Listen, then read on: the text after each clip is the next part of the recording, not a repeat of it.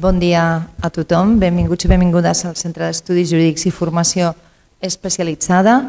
És un plaer aquest matí donar la benvinguda al nostre conseller, el senyor Ramon Espadaler, que bueno, és la primera visita al centre i m'alegro molt que justament hagi escollit aquesta jornada i aquest tema perquè crec que mostra la seva implicació en temes tan profuns i tan punyents com el, la qüestió dels suïcidis en l'àmbit penitenciari. També vull donar la benvinguda al senyor Josep Maria Tristany, director del Pla de Salut Mental i Addiccions del Departament de Salut, i el director general d'Afers Penitenciaris, el senyor José María Montero.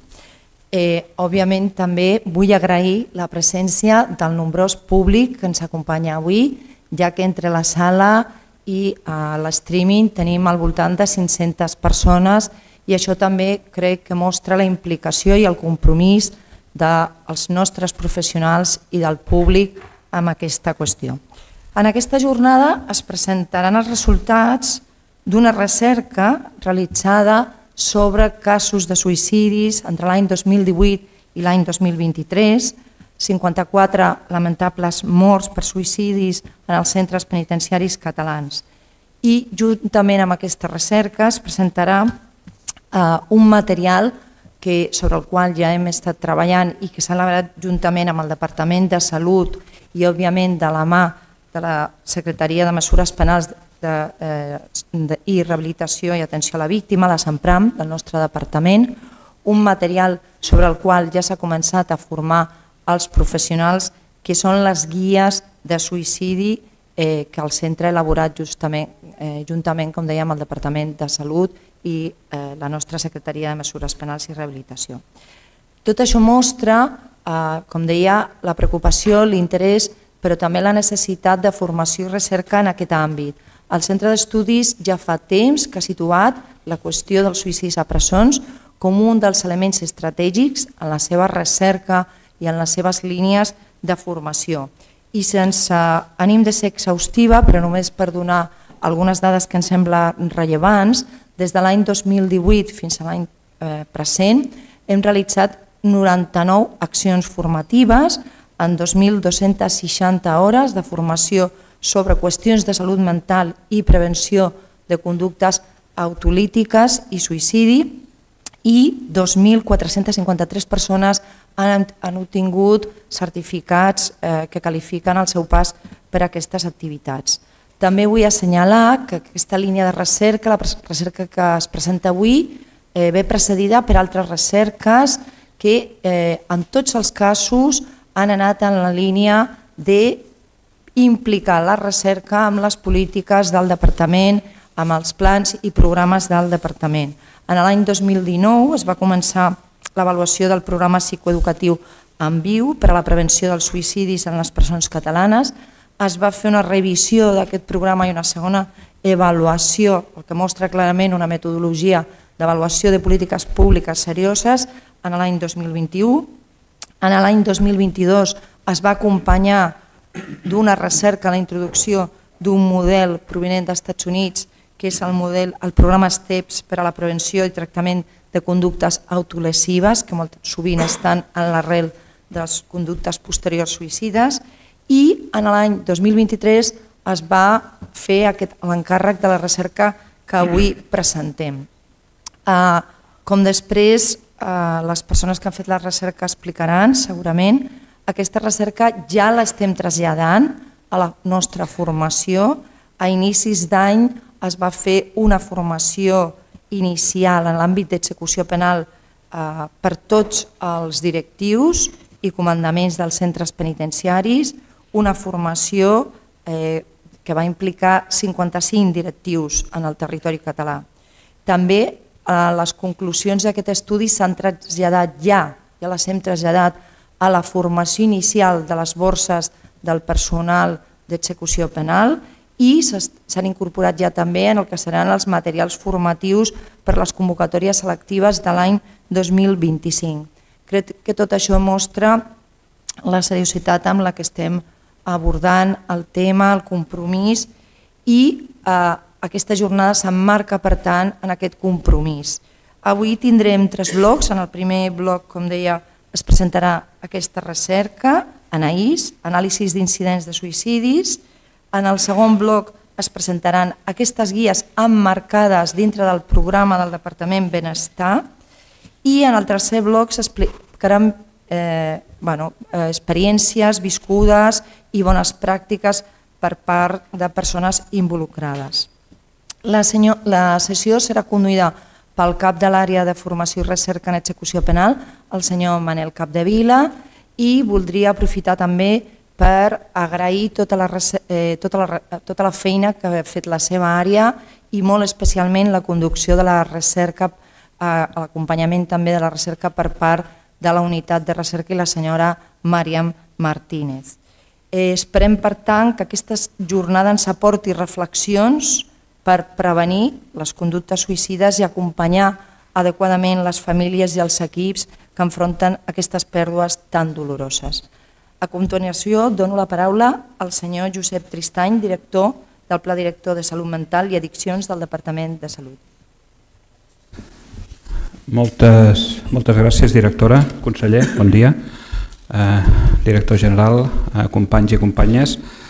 Eh, en primer lloc, agrair l'oportunitat de que des del Departament de Salut puguem venir doncs, a participar en una jornada d'aquestes característiques, eh? excusar la presència de la directora general per, que per motius d'última hora no, no ha pogut estar aquí amb nosaltres.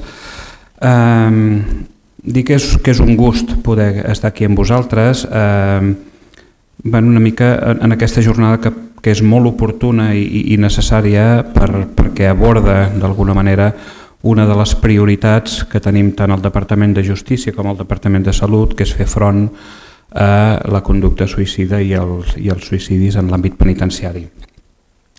Crec que també és una jornada que ens ha de permetre eh, mostrar una mica doncs, el, el sistema, el, el model que tenim a Catalunya doncs, d'atenció doncs, a la salut mental i addiccions en l'àmbit penitenciari, que és referent a l'estat espanyol i també és referent en, en, en, a tota Europa, jo diria. Eh?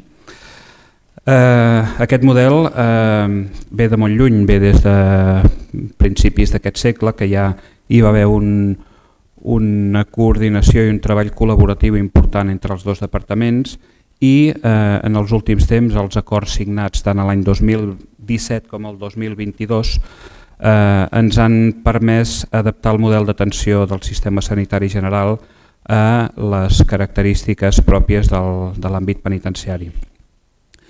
Recentment també hem definit el model d'atenció a l'àmbit de justícia juvenil doncs, amb el reforç de tota una sèrie d'accions que ens permetran donar un millor servei i una millor atenció doncs, a les persones que estan en l'àmbit de la justícia juvenil, però no podem, eh, sota cap cas, eh, aturar-nos aquí i hem de seguir treballant. Amb el desplegament d'aquest model català eh, jo crec que hem aconseguit dues coses. Una és l'equitat pel que fa a la cartera de serveis i eh, tenir clar que la població sotmesa a sistemes d'execució penal tenen accés a la cartera de serveis del sistema públic igual que la resta de la ciutadania i per altra banda integrar a l'àmbit penitenciari un model que contempla la prevenció i el tractament però també la rehabilitació de totes aquelles persones que tenim, que tenim ateses. Eh, pensem que la clau d'aquest model ha estat eh, d'alguna manera la priorització i el compromís dels dos departaments eh? i tenim molt clar amb dos departaments que a través d'aquest treball col·laboratiu és quan podrem continuar avançant eh, amb la millora de l'atenció a, doncs, a la població eh, que està en l'àmbit penitenciari. Uh, un dels àmbits uh, d'intervenció prioritari d'aquesta col·laboració precisament és uh, objecte de la jornada d'avui, que és la prevenció del suïcidi i les autolesions en l'àmbit penitenciari.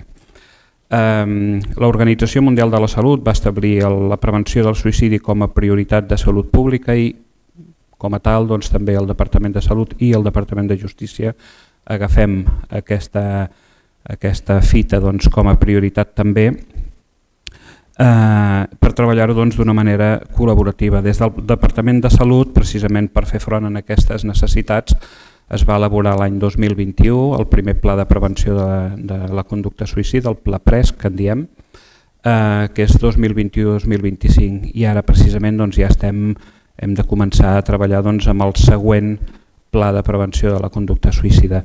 Una, una de les qüestions importants d'aquest pla de prevenció de la conducta suïcida és que planteja múltiples accions que van molt més enllà de l'àmbit sanitari. Eh?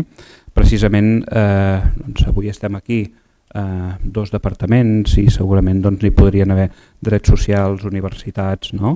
eh, perquè sí que el, la prevenció de la conducta suïcida és una qüestió totalment interdepartamental eh, en la que han de participar molts departaments, però també és important que cada vegada més hi hagi la implicació del món local i del conjunt de la societat. Precisament eh, una de les primeres accions que es va prioritzar des del Pla de Prevenció de la, de la Conducta Suïcida era eh, la creació d'una comissió interdepartamental de seguiment d'aquest pla en la qual hi ha eh, representades totes les principals conselleries que tenen a veure amb, amb, amb aquesta situació. Mm? I aquesta comissió interdepartamental eh, bàsicament el que ha de fer és prioritzar les intervencions, monitoritzar el seu desplegament, avaluar-les i fer la rendició de comptes de com està anant d'aquesta implementació. Um, avui presentarem um, un estudi eh, que crec que és important poder tenir dades per a partir de les dades veure doncs, quines accions i quines decisions acabem prenent. Si no tenim unes bones dades és difícil doncs, poder avançar amb les accions a dur a terme. I també farem la presentació d'unes guies, les guies per a la prevenció del suïcidi a l'entorn penitenciari, que s'ha realitzat doncs, de manera col·laborativa entre el Departament de Justícia, el Departament de Salut i el Centre d'Estudis Jurídics i Formació Especialitzada que avui ens acull en, aquest, en aquesta casa. Mm -hmm. Eh, com heu vist a fora, doncs, les, aquestes guies eh, van dirigides eh, en primer lloc a personal de presons i de medi obert, també a les persones privades de llibertat, tant internes com de medi obert, i eh, finalment també a les famílies i les persones eh, voluntàries. Sense més, i per donar paraula al, al honorable conseller, agraeixo l'assistència en aquesta jornada de tots i totes vosaltres perquè sou tots agents crucials per aquesta tasca doncs, de prevenció del suïcidi. I remarcar que el valor de totes les iniciatives que estem posant en marxa, que tenen un impacte molt positiu, tant per la població reclusa com per la societat en general, perquè no només estem abordant només problemes immediats com el risc de suïcidi, sinó que estem construint els ciments per una rehabilitació i una reintegració de la població recusa amb, amb els millors èxits possibles. Amb la qual desitjar-vos a tots una bona jornada i passo la paraula a l'honorable conseller. Moltes gràcies i per concloure aquesta presentació tenim les paraules del conseller Ramon Espadaler, conseller del Departament de Justícia i Qualitat Democràtica. Moltes gràcies, eh, senyora directora del CFE, eh, senyor director del programa de prevenció, senyora secretària, eh, senyor director general, senyors i senyors. La veritat és que em fa un goig particular, quan vaig veure que tenien programada aquesta jornada, vaig creure que era un moment oportú per, per traslladar algunes, algunes idees respecte doncs, a l'orientació política que volem donar doncs, al departament i particularment en aquest àmbit, que és que és una petita joia una petita gran joia del, del departament. No? Eh, la intervenció de la directora, de fet, eh, ha dit un munt de coses que jo tenia previst comentar-los a tots vostès, però tot allò que ha expressat que està fent és precisament, i ho ha definit ella, les raons per les quals li hem demanat per favor que continuï al capdavant del CFC, perquè diu, escolta, venim fent tota aquesta recerca durant tots aquests anys, amb casos aplicats, estem treballant en col·laboració amb altres departaments, en aquest cas particularment amb el Departament de Salut, estem fent eh, unes iniciatives concretes que es tradueixen en accions formatives, per tant, subscrivim, i aquesta és la primera idea que els voldria traslladar, al 100% aquesta línia de treball. I aquesta és la raó per la qual, i vull fer-ho públicament, doncs li agraeixo a la directora la voluntat doncs, i la predisposició de continuar fent aquesta feina que és crucial. No? Els deia que és una petita o gran joia el fet de tenir el centre de formació jurídica, el CEFGE, que, que es diu, no es va aprenent les sigles de mica en mica, que, que n'hi ha moltes en el nostre departament, eh, perquè és, eh, i mai millor dit, recerca aplicada.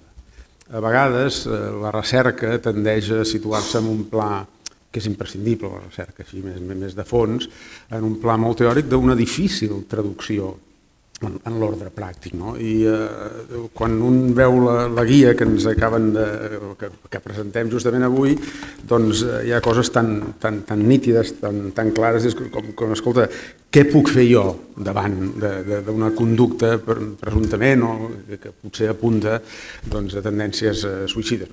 Aquesta resposta als familiars, als professionals, als voluntaris, als propis interns de què puc fer jo, doncs és una forma de dir, escolta, hem, hem eh, analitzat casos concrets, fins a 53 crec que, que ha dit, i intentem donar respostes, i donem respostes.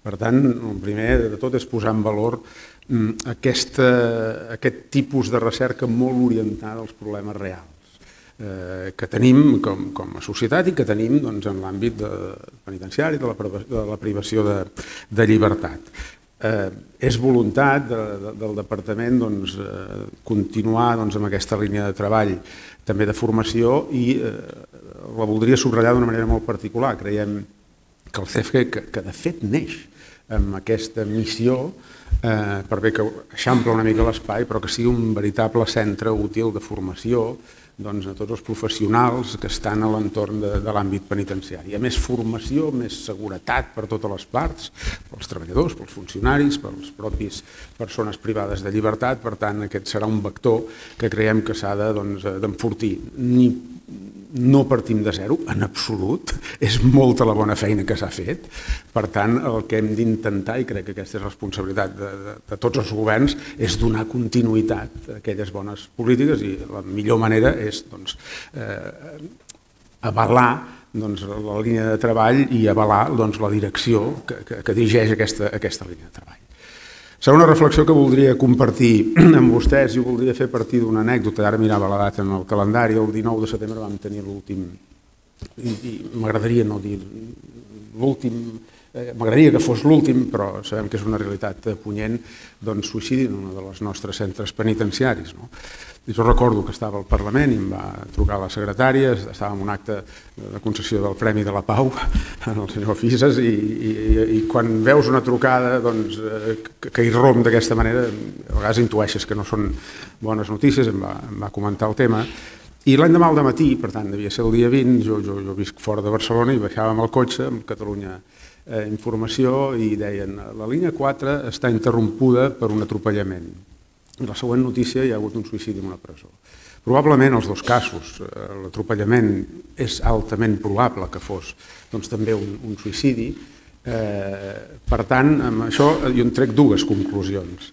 Eh, la primera, que el que passa dintre les presons no és tan diferent del que passa fora de les presons, per tant, dissortadament, i he vist les xifres i aquest balanç de l'OMS que diu doncs, que gairebé 700.000 persones en, en, en un any a nivell planetari, nosaltres com a país tampoc n'escapem, per tant el que passa fora també dissortadament passa dintre, però hi ha una diferència molt fonamental, que el que passa dintre nosaltres en tenim un plus de responsabilitat. Eh, I aquest és el que dona sentit a la feina exactament aquesta que fem doncs per, eh, per intentar, en la mesura que en siguem capaços, posar elements de, de prevenció. Tercera reflexió, que això no ho podem fer sols. És evident, ni, som, ni tenim l'expertesa ni el coneixement eh, suficient per fer-ho sols, sinó que ho hem de fer de la mà, en aquest cas, el Departament de Salut. I aquí també voldria agrair i dir-ho en majúscules, doncs, la predisposició l'any demà mateix de que vam tenir, bueno, la mateixa nit que vam tenir eh, eh, aquest darrer episodi, doncs vam concertar una reunió, crec l'any demà a les 9 de matí, eh, i el departament va estar doncs, prompte i, i estem revisant les coses. I quan diem revisar, jo em preocupa perquè a vegades quan s'abstracta, i que em perdoni algun periodista si n'hi ha algun a la sala, a vegades quan dius que anem a revisar les coses que es feien malament. No, no, no, és que, és que la revisió forma part permanent de les polítiques públiques. I quan sentin a dir que, doncs, que anem a revisar una circular de no sé què o que anem a revisar un protocol de no sé què més, mm, l'esperit és escolta, hem d'anar millorant. Per què? Doncs perquè les circumstàncies canvien perquè els, i ho hem parlat moltes vegades amb, amb la secretària, doncs, les persones que estan internes a les presons eh, d'ara s'assemblen poc amb les de fa, hi havia fa 20 anys o, o, fa, o fa més anys o fa 40 anys. No? Eh, I per tant cal aquesta eh, revisió, actualització permanent. Per tant, mai interpretin que quan diem hem d'anar a revisar que, que sigui, escolti, que s'ha fet les coses malament, sinó ben al contrari. S'han fet moltes coses ben fetes, però ens canvia l'entorn, ens canvien moltes realitats i per tant el que hem de fer és revisar. I tercera idea que volia compartir, l'enllaço amb això de la revisió, home, tenim un model eh, català en aquest sentit de penitenciari que és un model que té moltes expressions, que, que és diferent en positiu, pot ser diferent de moltes maneres, és diferent en positiu si ens contrastem doncs, amb altres models, en qualsevol cas és el nostre model eh, i aquest és un model que fa 40 anys doncs, que, que, que té vigència, i una de les particulars, bueno, i, i com es defineix aquest model? Doncs mirin aquest àmbit concret eh, com ho ha definit eh, el director del, del programa. Escolti, és que l'accés a la cartera de serveis és idèntica, que probablement això no sigui exactament així a tot arreu, però en qualsevol cas això és, és un tema substantiu. Per tant, també reflexionant sobre un tema tan sensible com aquest, aportant respostes tan tangibles com eh, uns manuals i doncs, fent aquests exercicis de revisió en els termes que he expressat, també el que estem fent és preservar eh, un model que és bo, que és essencialment bo i que ha d'estar subjecte a l'escrutini de, doncs, dels mitjans de comunicació, evidentment dels grups parlamentaris, evidentment de la sindicatura de greuges, perquè són elements i són eh, doncs, instàncies que el que ens ajuden és a millorar. El substantiu, quan eh, una cosa doncs, requereix de millora, és saber-la identificar, a vegades la mirada també externa, que, que al principi, doncs, particularment en el polític, pot incomodar doncs, aquest element de crítica que et ve d'un grup parlamentari, que et ve de la sindicatura, que et ve eh, d'un periodista, doncs el que ha de ser és un estímul. Per tant, gràcies per aquesta jornada, gràcies per poder compartir doncs, eh, en aquest primer acte en el CFE, que, que em sembla que té aquest valor i aquesta és la raó per la qual em va semblar oportú, encara no he visitat les instal·lacions, ja tindrem temps de fer-ho, però és que el substantiu està molt bé aquesta sala, no són les instal·lacions sinó són les persones que treballeu aquí al CEFGE i aquelles doncs, que veniu a nodrius de, de coneixement, a contrastar, a, a aprendre i en definitiva a millorar que al capdavall aquest és el sentit últim de les institucions i de la política. Que tingueu una bona jornada i gràcies, insisteixo, per la feina que feu.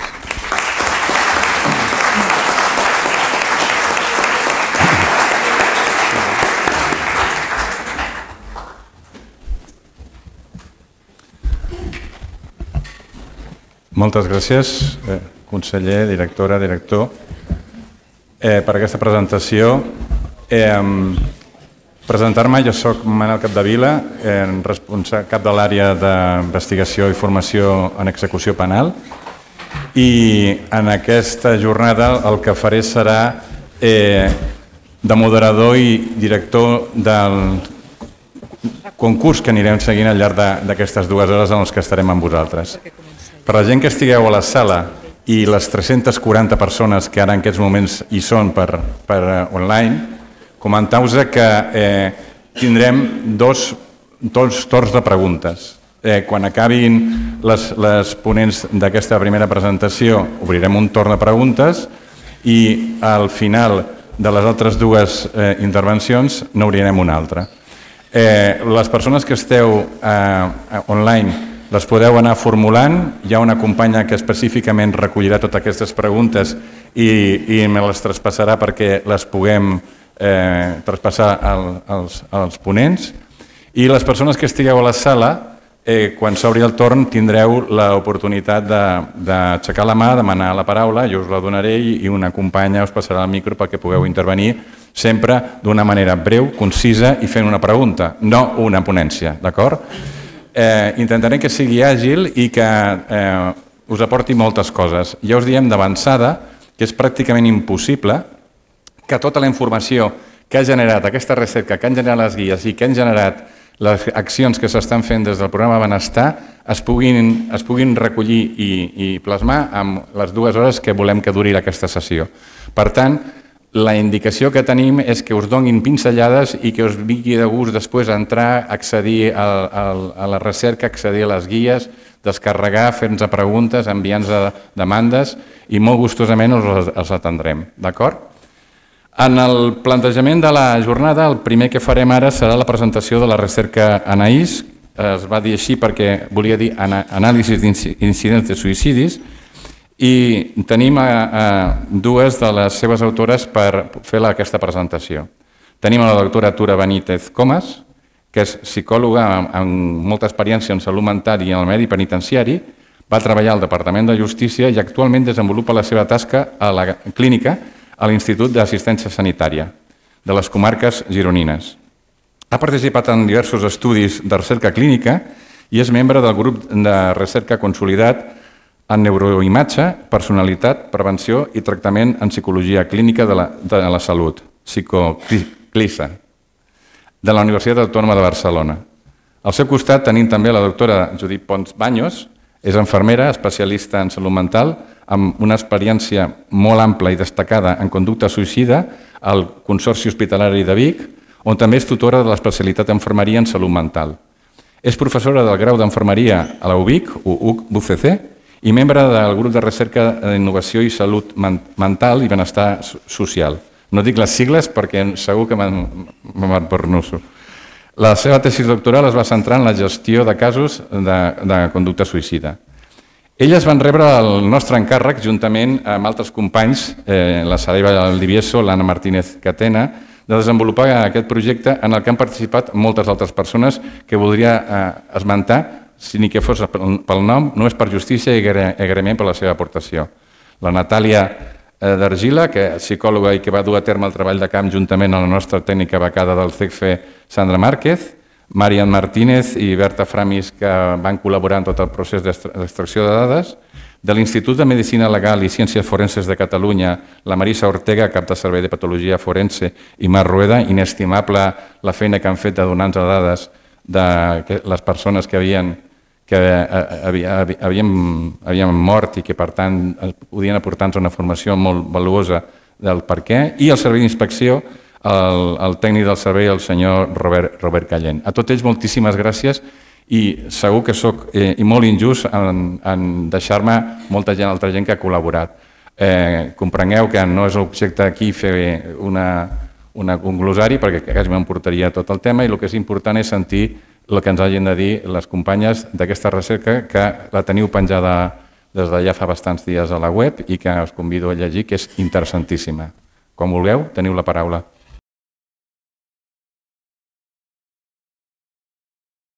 Gràcies, Manel. Uh, bé, en nom de, de tot l'equip Anaïs, agrair al Centre d'Estudis Jurídics no, la possibilitat de fer aquesta recerca i la possibilitat avui de, de presentar-la en, en un quòrum tan, tan ample. Eh, intentarem els propers minuts traslladar, fer un petit resum d'una recerca que ha acabat sent molt extensa. Um, per contextualitzar una mica, ja s'ha dit, ho ha dit el senyor Josep Tristany, el conseller, eh, el, el, el suïcidi és un problema de salut pública de primer ordre. Ja a nivell poblacional, eh, més de 700.000 persones cada any moren per suïcidi. A dins de presons el problema del suïcidi s'amplifica una mica més. Mirin, a nivell mundial, eh, de totes les morts que es produeixen dins d'un centre penitenciari, un 30% són, són per suïcidi a fora, a nivell poblacional, és un 1,3% les morts que són per suïcidi. Les taxes de suïcidi a presons doncs, són més, més elevades, tres vegades més elevades en homes reclusos respecte als que estan en llibertat, nou vegades més elevades en dones recluses respecte a la situació de llibertat. A dins la presó també veiem que els presos que estan en situació preventiva tenen unes taxes que dupliquen la dels presos que ja estan en situació eh, penada. Si anem a Catalunya, l'any 2001 les taxes a presons catalanes eren més altes que, que la mitjana de les presons europees. I eh, l'any 2022 hi va haver un, un punt, el punt més alt de suïcidis en un any amb centres penitenciaris que van ser 15. Des del departament, eh, fa anys, des de sempre, s'han establert mecanismes per vetllar per la integritat física de les persones. I el 2019, eh, dins del programa MAR de prevenció de, de, del suïcidi, es va posar en marxa el PPS, el Protocol de Prevenció del Suïcidi. Aquest protocol què estableix? Estableix que qualsevol professional dins d'un centre penitenciari pot detectar una situació de risc. Què fa aquest professional, aquesta persona que detecta el risc? Ho trasllada al cap de servei. El cap de, de, de servei eh, informa l'equip d'atenció primària penitenciària i pot, pot començar a activar una sèrie de mesures provisionals. L'equip d'atenció primària pot decidir activar el, pot decidir que no hi ha risc i no activa el protocol o pot decidir activar-lo amb diferents nivells de risc. Eh? I en cada nivell de risc hi haurien unes mesures establertes. I aquí passa l'equip de salut mental que acabarà d'establir tot allò que, que ens previndrà que l'intern prengui mal. Hi ha una sèrie de mesures cautelars, hi ha aquí l'implicació de tots els serveis, eh? el mèdic, eh, el, el d'interior, el de rehabilitació, des d'aquest any ja s'ha anomenat anteriorment a la presentació hi ha l'equip de benestar eh, i des de fa uns anys també hi ha el, el programa en viu on es pot derivar els interns i tot això conforma aquest pla d'intervenció. Quan se'ns va encarregar aquest projecte, l'objectiu era aportar l'evidència que ens permetés eh, establir les bases per prevenir el suïcidi a nivell penitenciari. I ens vam plantejar fer-ho de dues maneres. Una, fer una, anàlisi exhaustiu de tots els morts per suïcidi que s'havien establert durant el període d'estudi i, en segon lloc, saber quins són els mecanismes, protocols, quines accions s'han anat eh, realitzant quan s'ha produït un suïcidi. Com ho hem fet? Hem fet un estudi descriptiu, exploratori i retrospectiu de tots els morts per suïcidi produïts a, a les presons des de l'1 de gener del 2018 fins al 30 de juny del 2023. En total hem analitzat 54 casos. S'han analitzat diferents variables sociodemogràfiques, clíniques, penitenciàries, d'utilització de recursos de serveis, hem fet una anàlisi exhaustiu d'on hem tret l'informació del sistema d'informació penitenciari català, també hem tret informació del risc canvi, eh, que és el procediment en marxa de, de gestió del risc penitenciari en marxa des del 2010. També hem, hem utilitzat els anàlisis de postvenció en aquells casos en què estava fet, una anàlisi de postvenció, o sigui, tenim molt clar el que és la prevenció del suïcidi, que és tot allò que es produeix abans de que es produeixi el suïcidi i la postvenció és totes aquelles accions que podem fer una vegada s'ha produït el suïcidi. Llavors eh, és una anàlisi que es fa amb, amb les persones no, que, que tenien aquell cas eh, amb l'objectiu d'aprendre no, i intentar establir mesures de, de prevenció. Tot això s'ha complementat amb els informes de, del Servei d'Inspecció i també amb les dades de l'Institut de Medicina Legal i Ciències Forenses de Catalunya. Uh, tot l'anàlisi i la recollida de dades la vam fer amb, amb, amb la plataforma Qualtrics, l'anàlisi es va fer amb el programari SPSS i uh, estem parlant d'una N, no? 54, uh, quan parlem de que és un cas de mort per suïcidi és molt, però quan parlem estadísticament estem parlant d'una eina afortunadament petita, eh, llavors s'han realitzat proves no paramètriques. Eh? I eh, també s'ha utilitzat la prova de classificació biotàpica que ens permet classificar individus en grups que comparteixen característiques similars. Eh, amb tot això, dir que al final eh, aquesta recerca el que pretén ser és una fotografia, no? de dir d'on partim, què hi ha, què no hi ha, eh? i anem a veure que és el que, el que podem millorar. Llavors, quina és la mostra que tenim? Ja ho hem dit, són aquestes 54 morts que estan distribuïdes d'aquesta manera per anys. Els he avançat abans que el, el 2022 va ser l'any que es van produir més morts, que van ser 15. La majoria van ser homes, 9 de cada 10 morts per suïcidi eren homes, tot i així dins de dins d'aquestes 49 morts que eren homes, n'hi havia dos que s'identificaren amb el gènere femení. Eren persones joves, la mitjana d'edat 38 anys, tot un rang molt ampli, dels 18 fins als 75. Dues terceres parts eren d'origen espanyol, la majoria solters i la majoria de suïcidis es van produir dins dels centres penitenciaris. Eh? Hi van haver dos casos, un d'ells va succeir estant en tercer grau i un altre en situació de llibertat condicional. Anem als principals resultats i una miqueta de discussió. Nivell de gènere, els hi he avançat, eh? la majoria van ser homes, això és el, el que passa també a nivell poblacional. Eh? De, de, els homes moren més per suïcidi, les dones realitzen més intents que, que els homes. Tot i així, analitzant en detall els casos de dones, vam veure que significa no, pràcticament un 10% de la mostra i mirant la representació de dones dins el sistema penitenciaris vam veure que és un 6,61%. Per tant, allò que els deia abans, no? Que les taxes de suïcidi amb dones dins la, presó, dins la presó superen les de nivell poblacional, aquí també ho anem observant. Mm?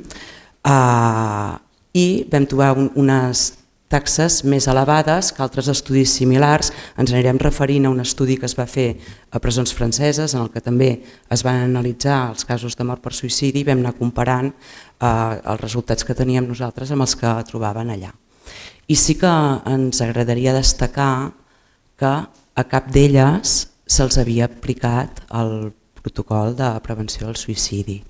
No? hi ha hagut un, el, el, el sistema no ha detectat aquestes dones que estaven en risc. A nivell de salut física i mental, sí que vam trobar que una gran part de la mostra ens constaven problemes de salut mental eh? I, i bastant superior, eh? estem parlant tres, tres quartes parts de la mostra tenien problemes de salut mental, eh, un percentatge superior que en altres estudis, i el que veiem és que la majoria eren trastorns de l'estat d'ànim, sobretot trastorns depressius, també trastorns de personalitat, sobretot trastorn límit de personalitat, i llavors altres trastorns relacionats amb, amb l'ansietat. Vam detectar també en tres quartes parts de la mostra que hi havia mm, problemes de consum, també en aquest cas un percentatge més elevat que, que en altres estudis, i eh, en el nostre cas problemes de salut física orgànica era en menor mesura que que en altres estudis. A nivell de tractament, sí que eh, un 63% portaven tractament psicofarmacològic, i un 11% portaven tractament farmacològic per altres problemes de salut física.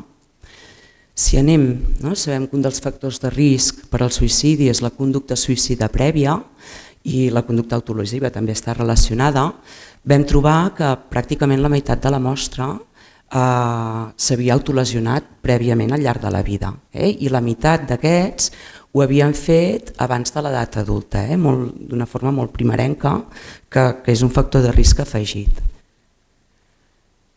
Vam trobar un, un percentatge molt elevat que, que havien realitzat intents de suïcidi prèviament, eh? al llarg de la vida. Aquí és cert que mm, per, per fer aquesta, a, a, a, aquesta cerca de qui havia intentat suïcidar-se, um, vam utilitzar una definició que englobava molt. O sigui, nosaltres incluïem com a intent de suïcidi qualsevol acció potencialment lesiva per la persona realitzada amb una, amb una ideació de morir diferent de zero. Per tant, no anàvem a intents de suïcidi mèdicament greus, sinó accions realitzades amb almenys alguna intenció de morir. Llavors, mm, això pot ser un dels motius per al qual ens surt un, un percentatge d'intents previs molt més elevat que la població general i que altres estudis. I sí que és cert que eh, pràcticament un terç de la mostra havia fet un intent de suïcidi els sis mesos abans de la mort per suïcidi, no? que seria el punt aquest que, que ens hauríem de, hauríem de posar el focus.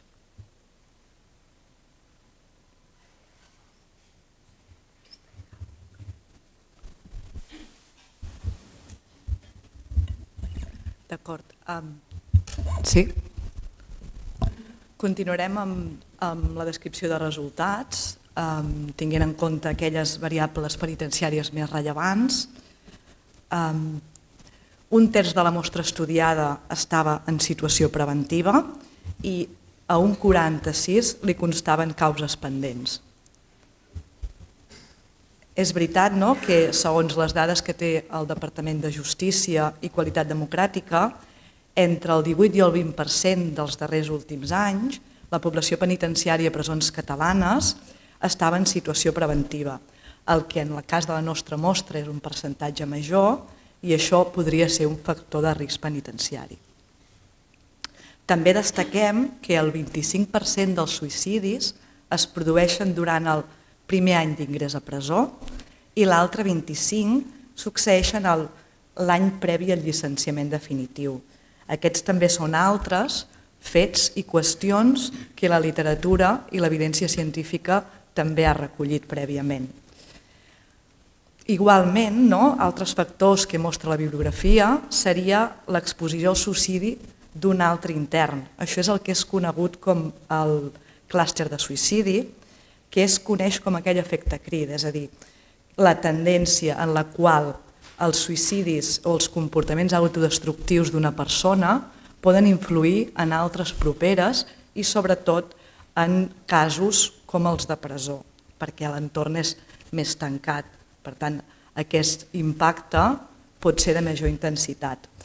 Considerant aquestes evidències a la literatura, val, el que hem fet és estudiar aquells casos en el que poden haver-hi morts recents a les anàlisis que hem fetes. Es van documentar altres suïcidis recents en com a mínim 15 casos dels estudiats inicialment, que després, amb l'anàlisi, van progressar fins a 23.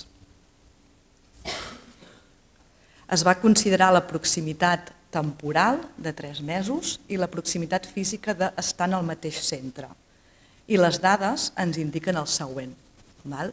A Brians 1 hauria tingut lloc 5 concentracions de suïcidis en diferents etapes. Del 12 d'abril del 18 al 5 d'agost del 18 tenen lloc 4 morts. Del 20 de gener del 2019 al 21 d'abril del 2019 tenen lloc 3 morts. Del 8 de març del 2020 al 12 de juny del 2020 succeeixen 3 suïcidis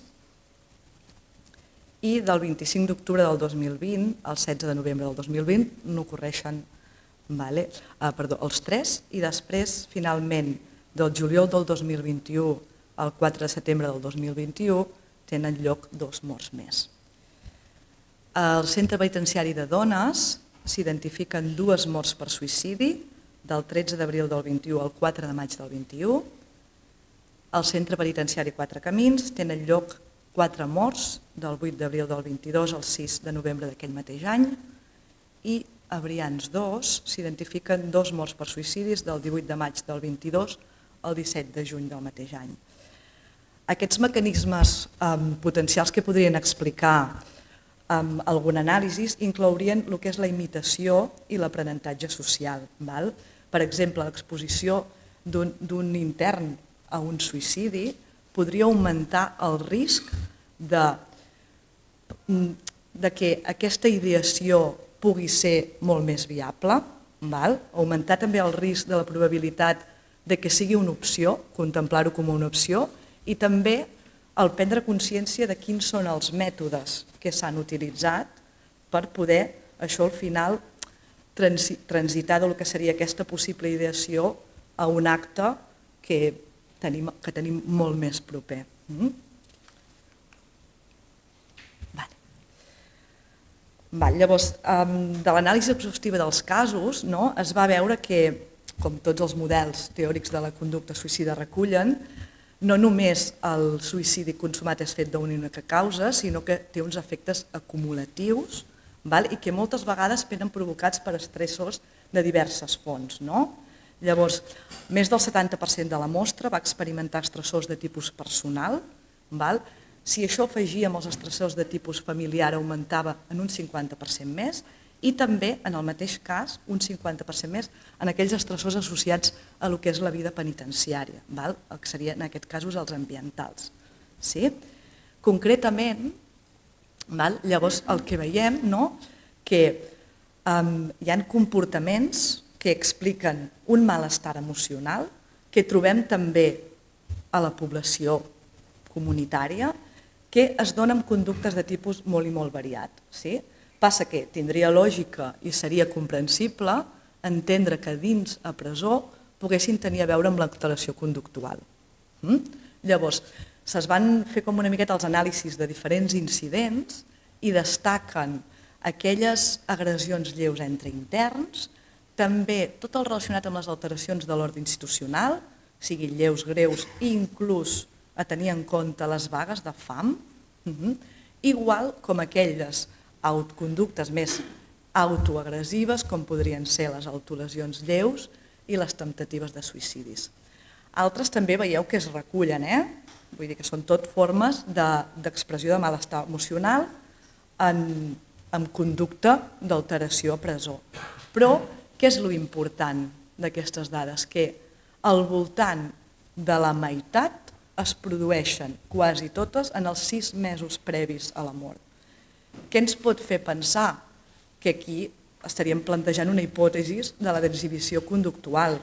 No? Hi ha una persona amb, amb una prèvia de malestar emocional que a sobre això impacta en un medi no, molt més restringit i que jo no sé com expressar-lo, sinó que ho faig a través de l'alteració conductual.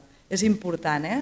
perquè serien alguns pòdroms del que podria esdevenir al final amb, amb una conducta més o amb una ideació com a mínim, que una ideació et podria fer passar en algun moment a l'acció. Val? Val. I com us comentava també, no, si gran part d'aquests estressors són de tipus penitenciari, i és els que hem volgut també explorar més a fons, veiem no, que s'han detectat en més de la meitat de la mostra efectes, o sigui, fets significatius la setmana prèvia del suïcidi es trobava en més de la meitat de casos i en una quarta part aquests fets eren de tipus penitenciari. Esdeveniments com ara l'ingrés, el trasllat entre dues instal·lacions, dos mòduls, val? centres, ai, perdó, deutes, informar de condemnes o de sentències desfavorables, convidar i això ens convida no, a preguntar-nos una mica sobre el paper que poden tenir aquests factors regimentals com a precipitadors del suïcidi. També, val, dues terceres parts dels interns es trobaven en règim ordinari els sis mesos abans del fet luctuós, però una tercera part d'aquests havien tingut canvis recents o bé se'ls havia informat de canvi recent. Ara bé, no? en el moment de la mort estaven ubicats el 45% en unitats de vida ordinària, tot i això al voltant d'un 30 havia tingut un canvi de centre recent, és a dir, els dos mesos previs havien tingut un trasllat. Mm?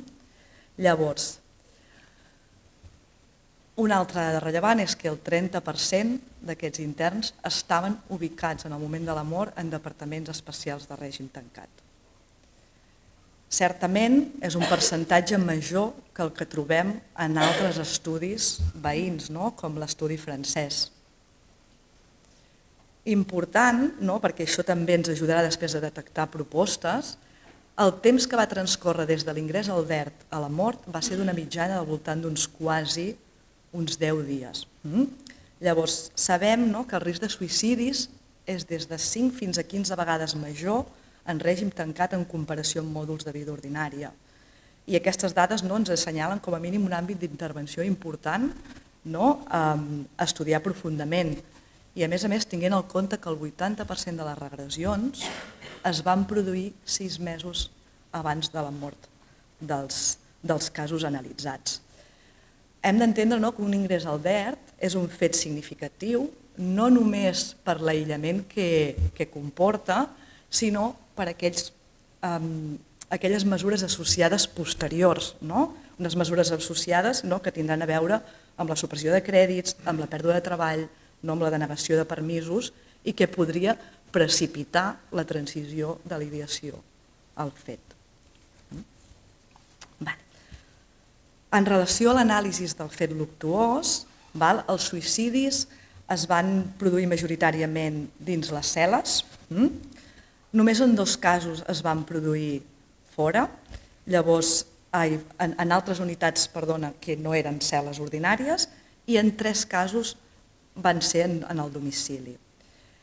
Entre els casos no, que van perdre la vida en cel·la es constata que la gran part es trobava o sigui, una gran part es trobava en aïllament, els altres estaven en cel·les compartides però en aquell moment no estava present el company, mm?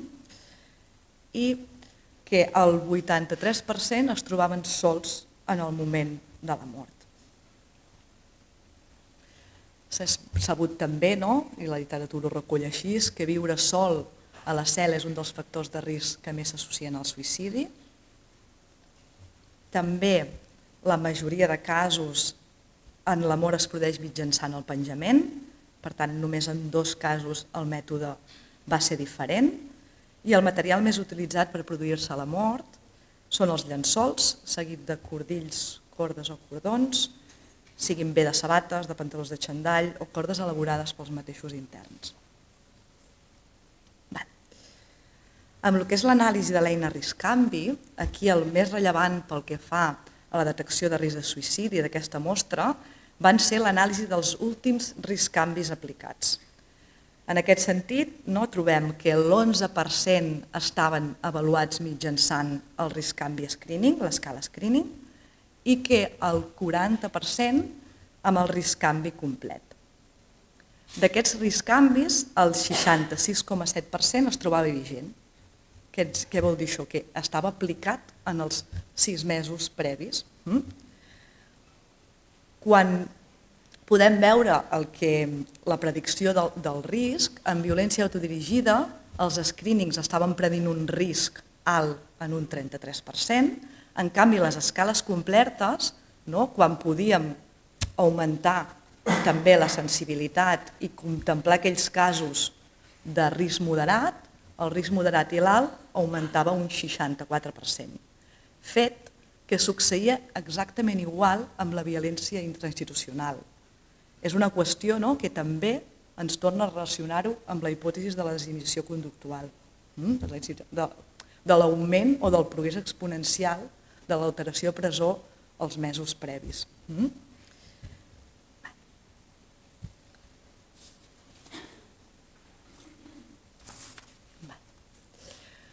Pel que fa a procediments, no, que la, la Judit us ha explicat no, que el protocol de prevenció de suïcidis penja del programa MARC, val? ell us ha explicat com era aquest funcionament i el procediment, es van analitzar la totalitat dels casos hm, i vam trobar que els tres mesos previs al suïcidi hi havia 10 activacions de PPS. Hm? D'aquestes 10 activacions, 7 estaven en risc alt, una en risc moderat i dues en risc baix. D'aquestes quatre activacions, en el moment de la mort, quatre continuaven actius. És a dir, s'havien desactivat 6 PPS en els 3 mesos previs, amb una mitjana de 56 dies de desactivació i el temps mitjana que havien estat activats havien set de 27 dies. Mm? Llavors, bueno, també considerar, no només, ara estem parlant de la temporada dels 3 mesos, sinó en els 18, en els 18 mesos previs hi havien hagut 13 deteccions, val? que hi havien hagut senyals que s'havien comunicat que no havien activat PPS.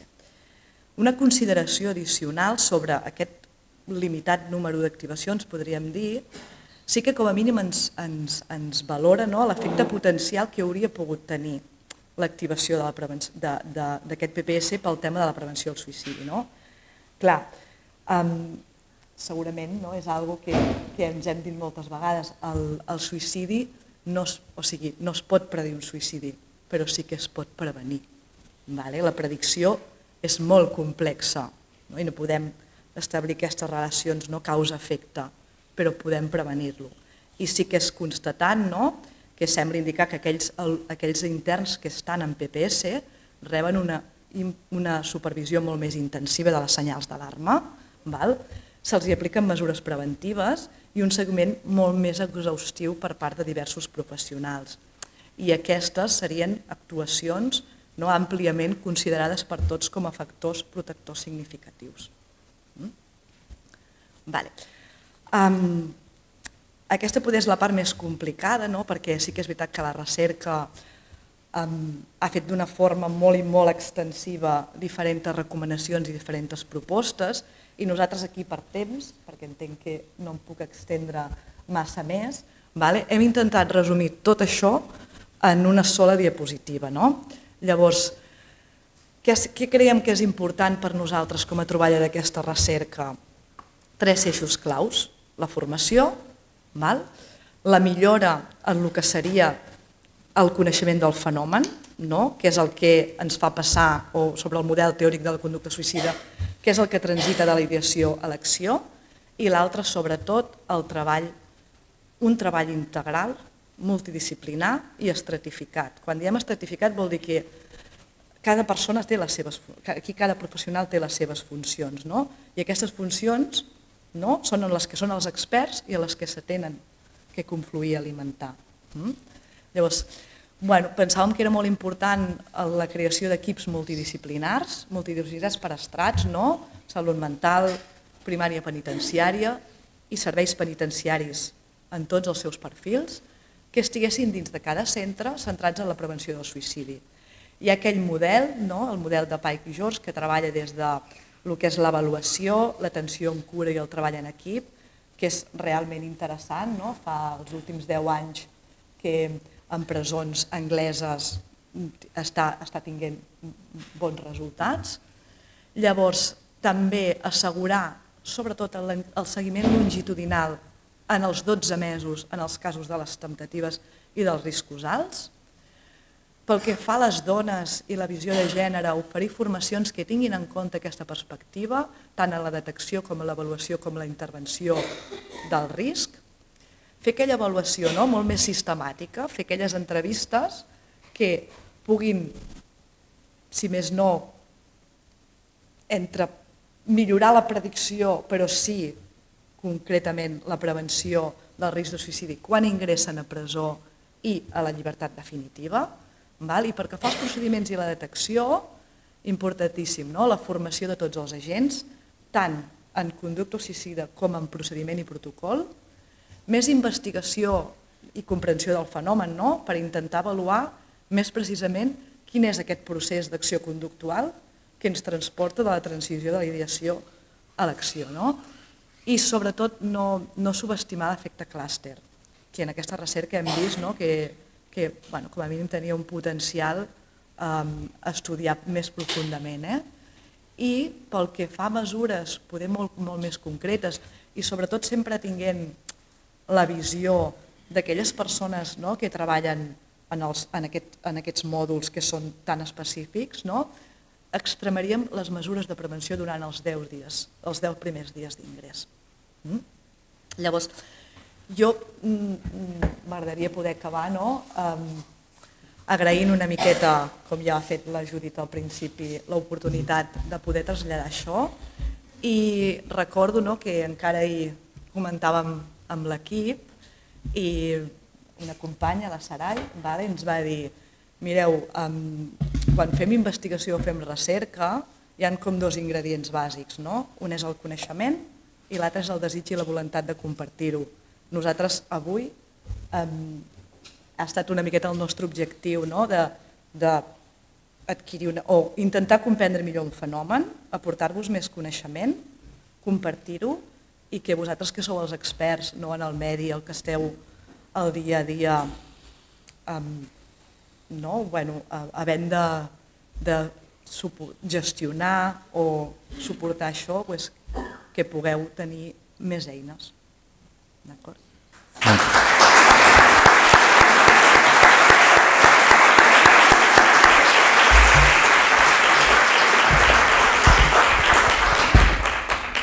Moltes gràcies per la vostra concisió, per la tranquil·litat que heu transmès al, al donar totes aquestes dades. Hi ha una infografia de la recerca per qui vulgui tenir un resum de les principals conclusions i les propostes que van lligades a aquestes conclusions, que us la recomano, moltíssim perquè és una infografia, és com si fos un, panel, i es llegeix molt bé i es fa, es fa molt amè i dona moltes pistes que després a la recerca les podeu anar buscant perquè, perquè són tan importants. Podeu fer preguntes eh, des d'aquí la sala, aixequeu la mà i us donaran el micro. I també eh, ja s'ha anat informant a la gent que pugui, les pugui anar formulant. Algú a la sala vol trencar el gel?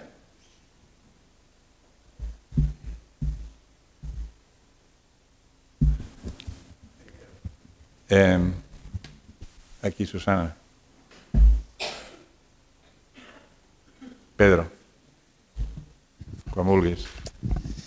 Hola, bon dia. Bueno, primer agrair-vos l'explicació, ha estat fantàstica, molt clara, posa en ordre moltes de les coses que, que sempre he intuït i que, i que bueno, ho, ho demostra, no? que, que eren elements que hem de tenir molt presents. I jo només una pregunta que no sé si eh, l'estudi que vau fer dels ingressos als departaments especials, vau fer diferenciació o vau notar alguna diferenciació quan l'ingrés és per compliment d'un règim tancat o quan és el compliment de, eh, com a, per, pel compliment de sanció executiva... Pedro, no aprop, apropa't al micro. No sé si m'heu entès, eh? No, no. Si han trobat alguna diferència a l'ingrés al, al Departament Especial en funció de en quina qualitat anava, no? Si anava per complir un règim tancat o si anava per, eh, per compliment de sanció. Per què ho dic? Perquè aquestes variables que heu explicat, no? que és el trencament millor d'una línia conductual prèvia, no? quan més es nota o quan, més és, quan és més radical normalment és amb el compliment d'una sanció. No sé si hi ha hagut alguna variable que heu trobat. Gràcies.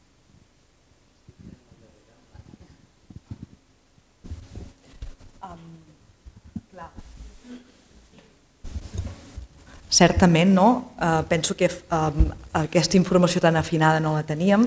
Sí que és veritat que eh, s'han intentat no, eh, en la situació penitenciària abans del fet luctuós, és a dir, els sis mesos previs, es va fer com una taula no, de que sí que us puc donar alguns percentatges no, dels que estaven en règim més ordinari, val, que seria del 34%, vale, en règim tancat, article 99, un 5%, l'article 75 un 5%, que aquests serien com els acumulatius una miqueta que et, refereixes a això, eh?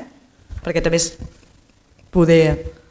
Eh, després també el règim tancat article 10 seria un 3, el règim tancat article 93 un 3 i l'article 243 un 3. Hauríem com de fer tot el, el sumatori d'això, no? serien un 5, 5, 10, un 20%. No?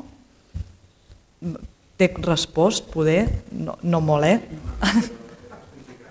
De totes maneres, sí que ens remeto a la, a la investigació, perquè amb tot el tema de reglament penitenciari la Sarai ens ha ajudat molt, perquè nosaltres, com sabeu, venim de l'àmbit clínic, val? jo havia treballat a Medi, però ara ja fa un temps, i ella sí que amb això ha estat molt més curosa, i les taules recullen, eh? Mm, aquí, ja, segons l'article, disposició i poder això ens podria afinar més o dir, vale, ja que ara tenim aquest dubte, en properes anàlisis intentar veure com des del sistema podem diferenciar aquests casos, que, que penso que és molt interessant també en relació a la hipòtesi de la desinhibició conductual a presó i de l'alteració. Gràcies. I de fet, o sigui, al, al llarg de la, de la recerca, clar, vam començar amb tot el que ens deia la literatura que podia eh, estar en relació al risc de suïcidi. Llavors, a base d'anar fent anàlisis, anàvem traient hipòtesis no? i anàvem analitzant. Vull dir que, de fet, amb l'equip ho dèiem, no? això seria per un Anaïs 2, un Anaïs 3, no? perquè cada vegada més no? que surten coses, eh, dius, ostres, i si mirem això amb això? Però mm, interessant, interessant. Exacte. Primer la foto.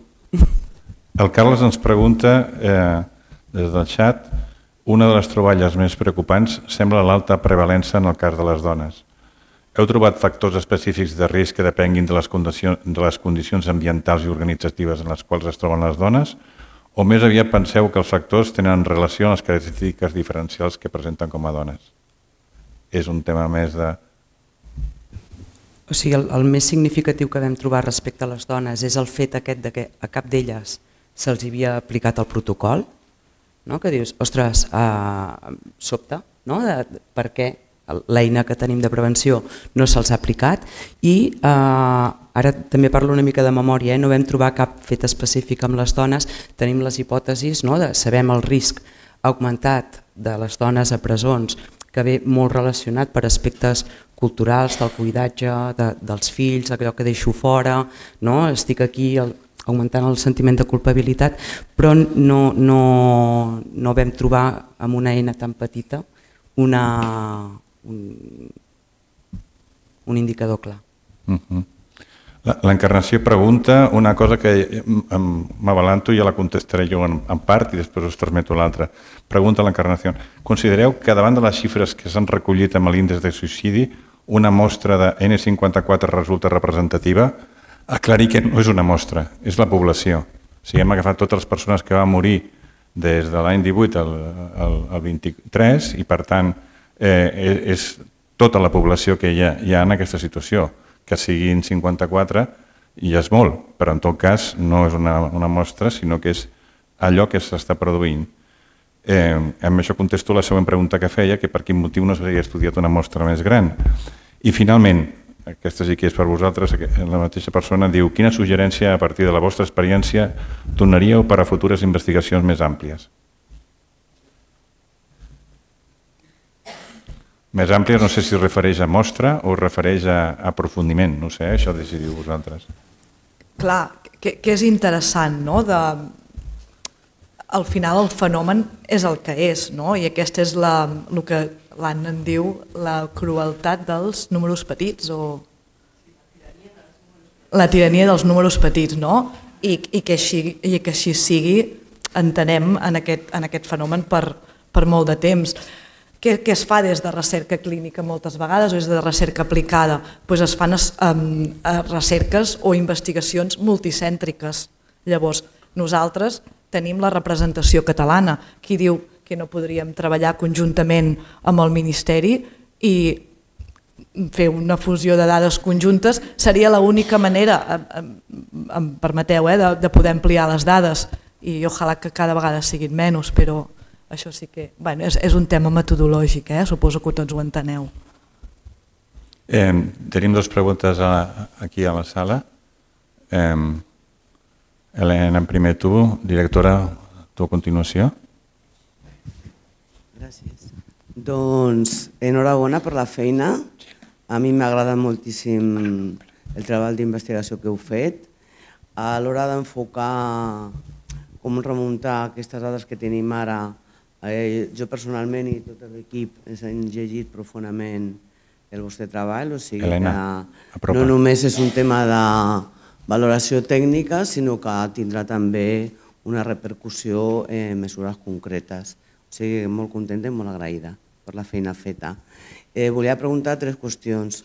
Una, eh, en la revisió de caràcter tècnic, suposo que d'altres antecedents, d'altres països, Voldria preguntar si he trobat, heu trobat que quan hi ha una confluència de factors de desinhibició conductual, com és doncs, un increment d'agressions entre interns, un increment d'agressions entre els funcionaris o, un, o una confluència també de conductes autolesives, si en algun lloc s'han introduït tècniques que neutralitzin o recondueixin el que és la desinhibició conductual. Aquesta és una qüestió que interessa perquè quan s'identifiquin N ítems en determinada població també es podria agafar eh, alguna, aplicar tècniques d'intervenció grupals o individuals que treballin el que és la desinhibició conductual. És una qüestió. La segona qüestió, si també heu trobat a nivell comparat, que s'atorgui algun paper a la, pròpia, a la pròpia població interna, és a dir, els interns són els que conviuen, i suposo que són els que més detecten. Llavors, volia preguntar, perquè estic especialment interessada, si hi ha alguna bona pràctica en matèria d'una bústia, en matèria de, de poder notificar, fins i tot de manera anònima, eh? tinc un company que es diu tal, que he vist X en, en, eh, fa poc, mm, volia preguntar si això s'ha activat en algun lloc. I després, i per últim, eh, perdoneu perquè jo em faig preguntes com molt concretes, molt tècniques. Sí, quan es fa una valoració d'inclusió en un programa de prevenció de suïcidis que comporta una valoració estrictament de lo que seria la psiquiatria clínica, hi ha alguna pràctica que, que ponderi aquesta valoració clínica con factors de caràcter conductual o ambiental. És a dir, que tu diguis, malgrat a lo millor la valoració clínica és N, la confluència de X variables de caràcter conductual, com és la confluència d'autolesions, com és prendre medicació ansiolítica o com seria, jo que sé, quatre o cinc coses, això fa que malgrat el que seria la predicció, que és el que és difícil, es vegi modulada per indicadors de caràcter conductual o comportamental. Perdoneu la... que sigui tan exhaustiva en les preguntes, però m'interessa. Moltes gràcies. Eh? A vosaltres. Si us sembla, començo jo amb l'última, no? que jo a, a, a dins del sistema penitenciari tinc zero experiència. Eh? Jo sempre m'he dedicat a, a, al que és a fora. Llavors, a nivell de, de gestió del risc, no? de, de, de, i, i parlo a nivell comunitari, eh? Uh, ara mateix no tenim cap eina, no? és el que deia, i, i, i ho deia vostè molt bé eh, també, no? o sigui, a dia d'avui no podem predir qui morirà per suïcidi, si ho poguéssim fer ja el problema del suïcidi estaria resolt. Eh? Uh, ens movem sempre amb el risc. Tenim escales, uh, però sobretot, sobretot el, el, la detecció del risc ens ve per l'entrevista clínica. Mm? Um, llavors, Uh, és cert que ara es comencen diferents estudis intentant utilitzar eines del de, que serien models predictius d'intel·ligència artificial eh, com a suport a aquesta decisió clínica. Però d'entrada estan en procés d'elaboració. Eh? Una mica és, el, és, el, és la gran preocupació que tenim les persones que ens dediquem a, a, a l'acompanyament a les persones amb risc de suïcidi, eh? de poder oferir eh, la màxima seguretat possible a les persones amb les situacions el més mínimament restrictives possibles en el seu dia a dia. Eh? No sé si, si t'he contestat aquí, possiblement amb totes aquestes recerques que es van fent s'aniran identificant coses, no? això de si porta aquest tractament resulta que hi ha més prova, no? de coses que amb l'entrevista clínica ara mateix s'escapen i que possiblement en, en un futur es tindrà. I ja al principi de la jornada es deia no? el que hi ha fora ha de ser dins, per tant tota aquesta recerca que eh, hi ha a nivell comunitari, a nivell mundial, que pugui entrar a, a nivell penitenciari.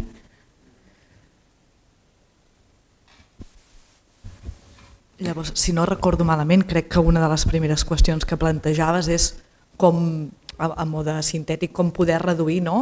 o com poder frenar aquesta desinhibició conductual que crea, una, que crea alteració no? dins la presó.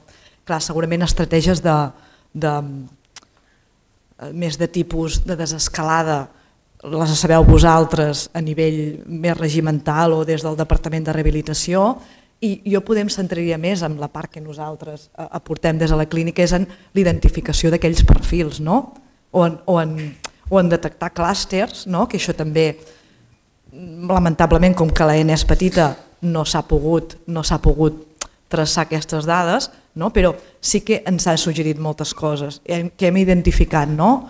um, un altre percentatge de, de, de problemàtica de salut mental, també la disregulació emocional. No?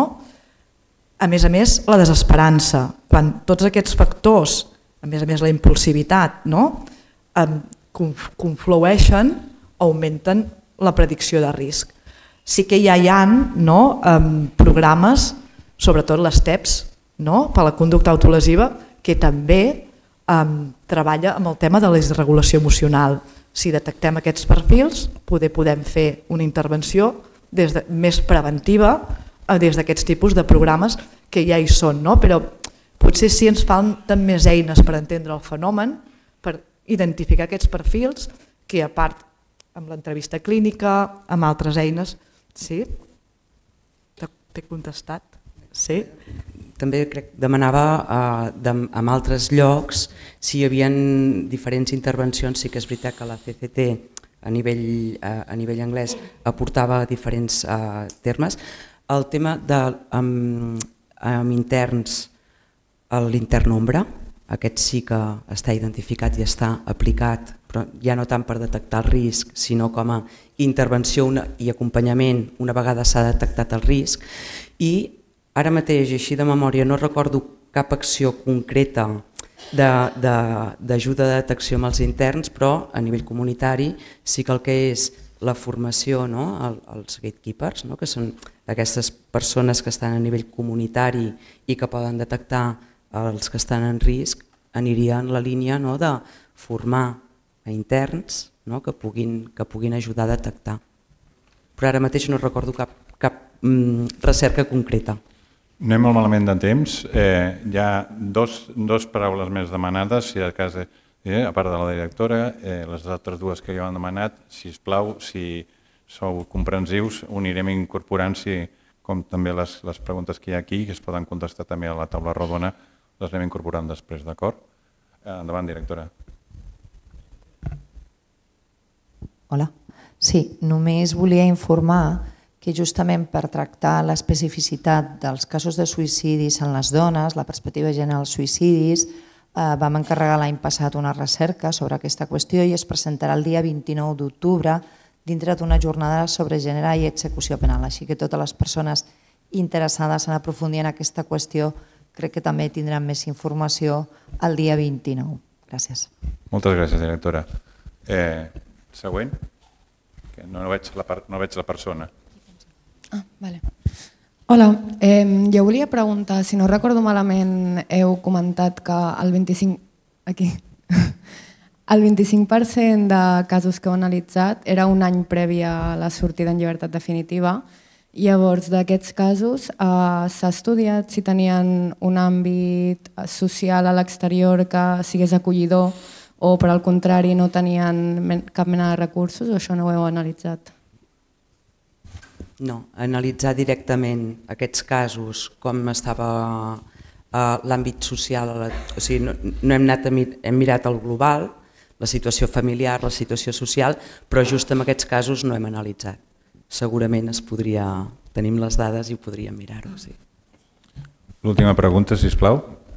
Uh, bon dia, doctora. Jo el que voldria preguntar era la, el tant per cent que vostè ha analitzat del Departament Especial bueno, no veig, del Departament Especial, que ha dit que hi havia un 34% de gent que es trevia la vida, a veure si havien analitzat vostès el perfil de les persones que anaven allà, dels usuaris. A veure si això podia haver una causa-efecte de dir que la persona que està allà podia no calia estar allà perquè el DERT, que és una presó dintre una presó per mi, és un calaix de sastre. Allà on t'ha passat per tots els mòduls, l'usuari, doncs, si no el, el que acaba el DERT si hi havia alguna relació entre uh, l'unitat residencial que hauria d'estar i el DER, que si no hagués estat el DER, poder aquest senyor encara estaria viu. Gràcies. L'anàlisi específic i concret de, de només els casos que van morir per suïcidi al DER... És el teu, és el teu, no cal que vagis. Que, que vagis al teu micro, no que cal que vagis. Vale.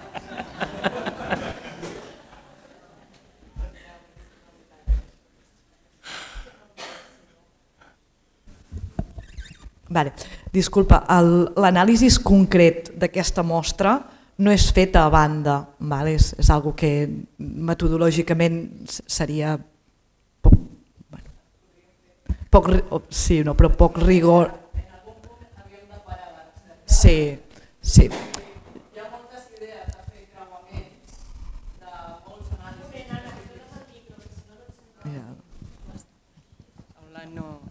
que dic que en algun punt havíem de parar la recerca, és a dir, eh, ja, ja teníem una recerca amb 300 pàgines i hi ha moltes idees de molts creuaments de dades, els anàlisis específics de dones, els anàlisis específics de transgènere, a aquests grups especials del DER. Tot això, com a investigadores, òbviament, és, ho voldríem mirar.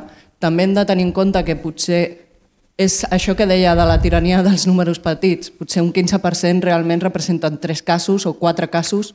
Llavors, l'anàlisi d'aquests casos no, ha de ser gairebé un anàlisi individualitzat, és a dir, no ens serviria tampoc per establir unes conclusions molt representatives. No? Llavors vam decidir oferir aquesta visió més ampla, general, deixar aquí les petites pedres del camí i veure més en el futur doncs, cap a on anem. En tot cas tenim moltes branques obertes, la recerca dona moltes pistes. Hi ha una pregunta aquí que es preguntava si s'havien fet intervencions sobre el trans. Mm, us remeto que llegir la recerca perquè sí que hi ha un apartat que ho infoca. Donar-vos moltíssimes gràcies per la síntesi que heu fet de la recerca i convidar que ens continueu donant suport quan toquem aquests temes en properes, en properes propostes, d'acord? Moltes gràcies i canviem, canviem la taula.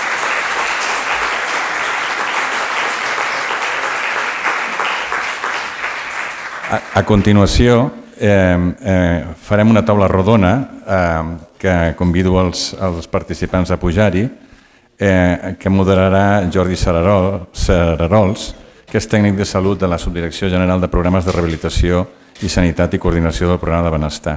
Ell ja presentarà la, la resta de persones que ja estan a la taula i jo em, em, em centro en el que els hi han demanat en aquest espai que, que ara ens enfoquen ells. El que volíem en aquesta segona fase, en aquesta segona, eh, en aquesta segona taula, és que ens expliquessin el programa Benestar. El programa Benestar és un programa que ha posat en marxa la secretaria justament per començar a revertir moltes de les coses que s'han comentat en el, primer, en el primer estudi. El que aquí es volia és, a partir dels resultats que tenim eh, d'una investigació, com deia el conseller, això no pot ser una investigació teòrica, ha de ser aplicada i dels resultats que ja els hi van presentar la secretaria la secretaria ha fet el programa de benestar, ha posat en marxa això i l'encàrrec que tenen les persones que teniu ara aquí a la taula és que en molt poc espai de temps ens expliquin, ens, expliquin, ens facin cinc cèntims en què consisteix aquest programa de benestar. Només presento el Jordi i ell farà eh, els honors amb la resta de membres de la taula. Jordi és diplomat en Educació Social i graduat per Criminologia i Infermeria de la Universitat de Barcelona, màster universitari en Vulnerabilitat i, i Salut per l'Autònoma, porta 15 anys com a educa... portava 15 anys com a educador social a Brians 2, un any com a infermer a l'ICS en atenció primària. Des de 2022 és tècnic de salut de la Subdirecció General de Programes de Rehabilitació i Sanitat de la Direcció General d'Afers Penitenciaris i, entre altres tasques, coordina el programa de benestar eh, que, que es diu concretament Programa Transversal de Benestar Emocional i Prevenció del Suïcidi i sempre ens està dient que no parlem de prevenció de suïcidi sinó que parlem de programa de benestar i això és eh, m'ho he pres molt bé i a partir d'ara sempre ho estem fent. Eh, tens la paraula i a partir d'aquí tu decideixes dintre del límit de temps que t'han donat. Eh, Molt Jordi? Bé. No sé si se'm sent, sí, perfecte. Eh, primer de tot, enviar una abraçada molt gran a la Sarai, que és referent de la prevenció del suïcidi a, a l'execució penal, no pot estar avui en presència, però està en essència. Bé, l'any 2023 es va presentar l'informe de la OMS de la situació actual de la salut a les presons europees, on van participar 36 països. Va quedar palè un cop més que la primera causa de mort a les presons d'Europa és el suïcidi. Aquell any es van reportar per part de 35 països dels 36 participants, es van reportar 2.500 morts en la totalitat a les presons, de les quals més de 600 van ser per suïcidi. Ja sabem que el suïcidi és un problema de salut pública molt greu i també sabem que el suïcidi a presó coexisteix amb nosaltres. De fet, li hem de fer front. Uh, coneixem taxes, coneixem dades, coneixem xifres molt importants, són fonamentals per l'epidemiologia, per l'estudi del fenomen, però precisament aquesta jornada, aquesta taula, el que volem fer és posar-li cara al suïcidi i venir a posar-li posar cara al suïcidi i sense por.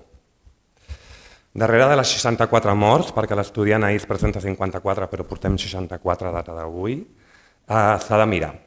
S'ha de mirar les persones. Eh, I fugint de sentimentalismes, aquestes persones són des d'una dona que té la seva família lluny, als països d'origen, Eh, és un home amb un problema de consum d'alcohol i amb molta por a la llibertat definitiva i és una persona trans rebutjada per la seva família i sola. Cap disciplina per si sola pot prevenir el suïcidi, s'ha de mirar, s'ha de posar la mirada en la persona, en la família, en el context, en les entitats i en els professionals. I hem d'anar plegats perquè sols no podrem. Per aquest motiu, aquesta taula, per mi és un plaer presentar-la.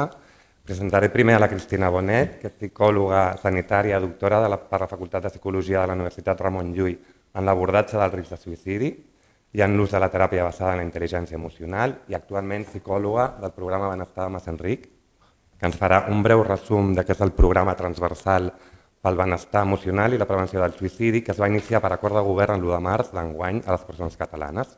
I d'altra banda, tinc conjuntament a la SAICO i a la EVA que ens presentaran les guies de prevenció del suïcidi al context penitenciari, eh, elaborades de manera conjunta, com ja dèiem, amb Justícia i Salut, però també han col·laborat el tercer sector, el Departament d'Ensenyament i les persones privades de llibertat. La SAICO és tècnica de l'Observatori de Prevenció del Suïcidi des de la seva creació a l'any 2023, dins del Pla Director de Salut, de Salut Mental i Addiccions del Departament de Justícia, psicòloga de formació, té l'encàrrec de dissenyar i elaborar programes d'atenció a la salut mental, especialment en l'àmbit de la conducta suïcida, ha participat en l'elaboració de diverses guies de prevenció de la conducta suïcida i ja hi dona atenció també a supervivents. La Eva Valcàrcel ha estat 15 anys psicòloga clínica en diversos àmbits, és postgraduada en actualitzacions psicopatològiques clíniques i màster en psicologia clínica legal i forense. Ha estat cap de programes d'atenció especialitzada a Quatre Camins i actualment és la gerent. Dono la taula per iniciada, començarà la Cristina Bonet, moltes gràcies per l'assistència i esperem que sigui del vostre gust.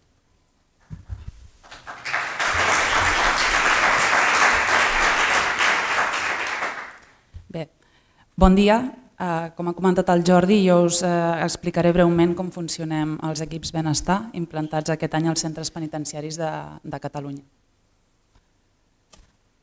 Uh, bé, com bé sabreu, aquests equips uh, s'han introduït amb la missió o la finalitat última de reduir les creixents xifres sobre les conductes suïcides i autolesives i per tal d'assolir aquest fi, la principal missió d'aquests equips és la de fomentar o vetllar pel benestar de les persones privades de llibertat.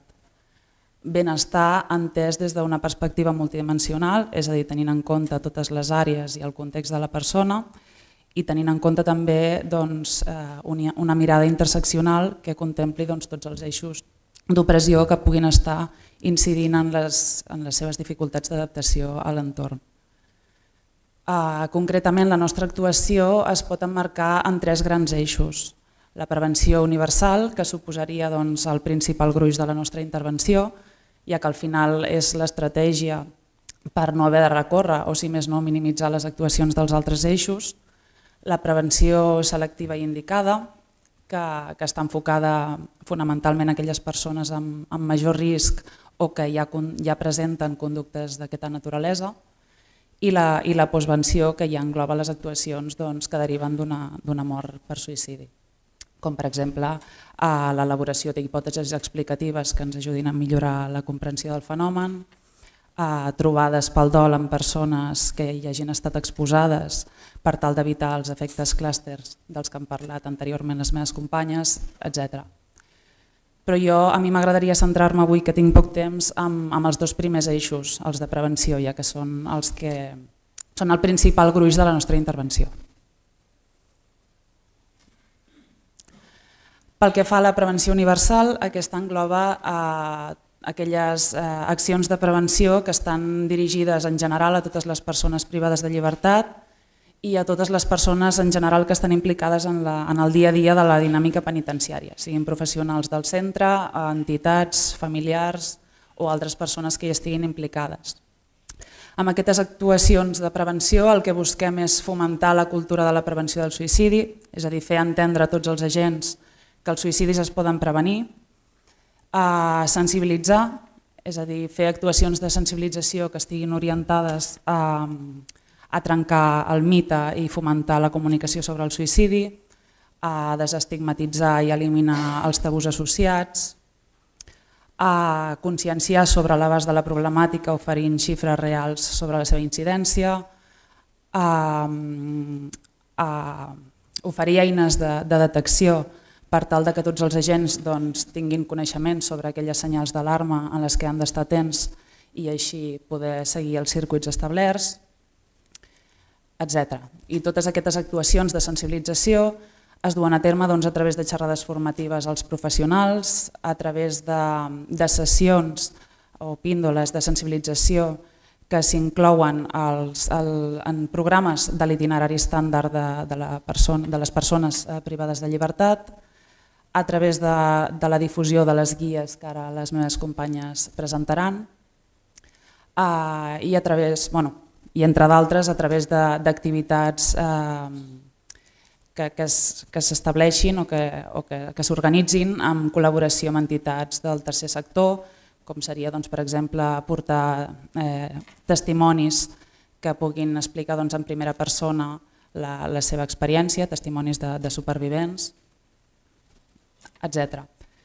I finalment una altra, una altra pota important d'aquest eix de prevenció universal seria la divulgació de pràctiques que promoguin el benestar, que pot incloure doncs, eh, pràctiques molt variades, eh, com per exemple algunes de les que s'han fet doncs, s'ha fet eh, una activitat a, a la piscina que buscava integrar l'activitat física amb la part més lúdica i de cohesió social i la pràctica d'exercicis de relaxació. S'ha fet difusió, bueno, s'ha elaborat un díptic que buscava promoure l'activitat física en interns en primer grau per tal de que fessin activitat física a les cel·les. Uh, S'han fet sessions de, de gestió emocional en aquells eh, col·lectius en els quals s'ha vist que els suïcidis estan sobre representats dins les presons catalanes, com han comentat les meves companyes anteriorment, com per exemple en, els, en les unitats de, de dones i, i, bueno, i moltes més, però per, per posar alguns exemples. I pel que fa a la prevenció selectiva indicada, eh, com he comentat, aquesta està dirigida a les persones que presenten més risc i, i aquelles que ja presenten conductes d'aquesta naturalesa i concretament aquelles persones que tenen un, un protocol de prevenció de suïcidis activat, aquelles en les quals se'ls ha desactivat durant l'últim any o que han comès algun incident relacionat amb violència autodirigida durant l'últim any, que pot ser doncs, des d'una tentativa suïcida a una conducta autolesiva o inclús sobredosis, ja que desconeixem doncs, la intencionalitat que hi havia darrere. A persones amb, risc, amb alt risc de, de violència autodirigida i altres persones detectades de risc doncs, a través de la fitxa d'ingressos, eh, per mm, casos en els quals s'ha fet una detecció eh, que no ha derivat en una activació de PPS però consideren que, que s'hauria de fer un seguiment, entre d'altres. I totes aquestes actuacions eh, giren entorn a, a tres àrees, a la, a la coordinació i al suport al seguiment individual d'aquests casos i a les intervencions grupals. Eh, concretament, en aquells casos en els quals hi ha un protocol de prevenció de suïcidis activat, com que el protocol marc de prevenció de suïcidis ja estableix eh, que hi hagi moltes mirades a sobre i, i un seguiment acurat i intensiu, eh, el, el nostre paper és més indirecte, és a dir, fem un seguiment Eh, de la situació a través de la coordinació amb els professionals i en tot cas els hi oferim suport en allò que, que considerin eh, necessari. I és quan es desactiva el protocol que ja totes les mirades s'aparten i tal com han comentat les companyes anteriorment, el risc és fluctuant i durant els 12 eh, darrers mesos la situació és, és complexa, eh, doncs que fem un seguiment i el nostre paper eh, s'intensifica. Durant aquest seguiment, eh, com he comentat inicialment, l'abordatge és eh, multidimensional, per tant tenim en compte totes les àrees que puguin estar afectades, tots els factors de risc i eh, podem fer actuacions de molts, molts tipus. És a dir, a part de l'acompanyament i el suport emocional que òbviament oferim en, aquests, en aquestes persones, eh, també eh, podem utilitzar altres tècniques com són les prescripcions socials, si valorem que, que pot eh, ser indicat que s'adhereixi a alguna activitat del centre, que sigui del seu interès. També podem fer propostes de mesures de seguretat, més enllà de l'activació no, del, del protocol, en cas que considerem doncs, que aquell intern ha de viure acompanyat a la cel·la. Eh, també podem fer eh, plans de seguretat en aquells que, que ja cometen eh, conductes suïcides, treballem a través d'anàlisis funcionals amb aquells que cometen eh, conductes autolesives, etc. En funció de les necessitats específiques del cas doncs, utilitzarem unes, unes eines o unes altres durant el seguiment.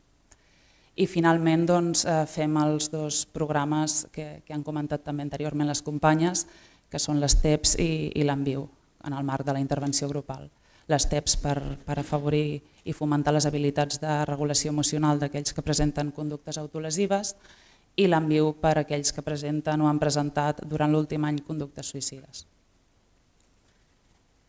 I ja per acabar he volgut eh, destacar els aspectes més claus de l'actuació d'aquests equips, que són doncs, l'enfocament eh, preventiu multidisciplinari interseccional de la nostra actuació, el fet que actuem com a professional de referència en l'àmbit del benestar, eh, sense la pressió de que la mateixa persona a les quals aquests interns poden, poden acudir eh, no, és a dir, la persona a les quals eh, acudir en aquests temes no sigui la mateixa que després ha de fer valoracions sobre els seus eh, aspectes regimentals o penitenciaris, a la transversalitat de la nostra actuació, ja que actuem doncs, en les diferents unitats de vida i això permet eh, que hi hagi una continuïtat en el seguiment i no hi hagin tantes derivacions i es perdi informació pel camí, el qual també afavoreix eh, l'establiment del vincle amb aquella persona i fer un bon seguiment i monitorització del cas.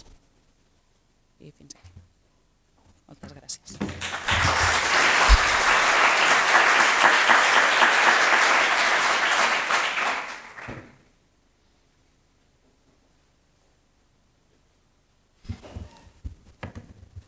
Hola, bon, bon dia.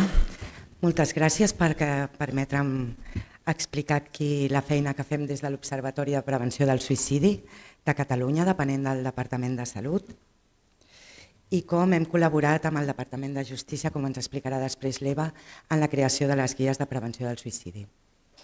Per posar-vos una mica en context, l'Observatori parteix del Pla de Prevenció del Suïcidi de Catalunya, que es va posar en marxa el 2021. Aquest pla, que és un pla integral i molt ambiciós, es centra en dues línies de treball específiques, per una banda tot el que és la prevenció i una segona línia de treball que seria l'atenció, la millora de l'atenció a les persones afectades. El pla inclou més de 300 accions amb un focus molt important en la col·laboració entre departaments, com pot ser un exemple rellevant la col·laboració entre Justícia i Salut en el programa MARC de prevenció dels suïcidis als centres penitenciaris i una atracció en prioritària que contenia aquest pla és la creació de l'Observatori que es va posar en marxa el 2023. La funció principal de l'Observatori és fomentar, millorar o col·laborar en tot allò que tingui relació amb la conducta suïcida en l'àmbit de les polítiques públiques de Catalunya. Tenim moltes línies de treball, però potser les més importants són les que podeu veure en aquesta diapositiva. La primera és realitzar una recollida exhaustiva i una anàlisi de totes les dades disponibles i també eh, poder difondre el coneixement que podem obtenir. Una segona línia de treball important és sensibilitzar i difondre informació rellevant a tota la ciutadania. Una tercera línia de treball és aportar eines en diferents àmbits clau. Després veurem alguns exemples per la prevenció, detecció i també especialment per la derivació de persones a l'assistència sanitària. I per últim, l'avaluació del pla pres, del pla de prevenció, en el que realitzem seguiment de totes les accions que s'estan implementant, detectem aspectes de millora i formulem propostes basades en l'evidència. Aquí podeu veure alguns exemples de campanyes comunicatives que hem fet. M'agradaria ressaltar especialment la que podeu veure al centre, que és la primera campanya adreçada a tota la ciutadania per a la prevenció del suïcidi que poder, poder, heu pogut veure en els darrers mesos tant als carrers com als mitjans de comunicació catalans. Aquí podeu veure també uns altres exemples de materials que hem elaborat. Podeu veure aquí un tríptic amb informació sobre el dol, el dol per suïcidi i l'atenció als supervivents, en el context d'un programa marc d'atenció a la postvenció i també a mà dreta podeu veure la nova entrada que hi ha al Canal Salut amb informació adreçada a la ciutadania sobre suïcidi i conducta suïcida. Per últim, una de les línies de treball més importants de l'Observatori és la col·laboració amb diferents departaments de les, en les guies de prevenció i abordatge de la conducta suïcida i també de les autolesions no suïcides en diferents àmbits. A dia d'avui ja tenim publicades quatre guies que hem elaborat en col·laboració amb la de Gaia per una banda, el Departament d'Educació per l'altra, totes les universitats de Catalunya i en la guia que ens ocupa avui en l'àmbit penitenciari. Aquests documents que podeu trobar online en, el, en, el, en la web dels diferents departaments i també del Departament de Salut inclouen recomanacions específicament adaptades a cada un dels àmbits pel que fa a la prevenció, la detecció de la conducta suïcida i també en els casos necessaris la derivació i la coordinació amb el sistema de salut.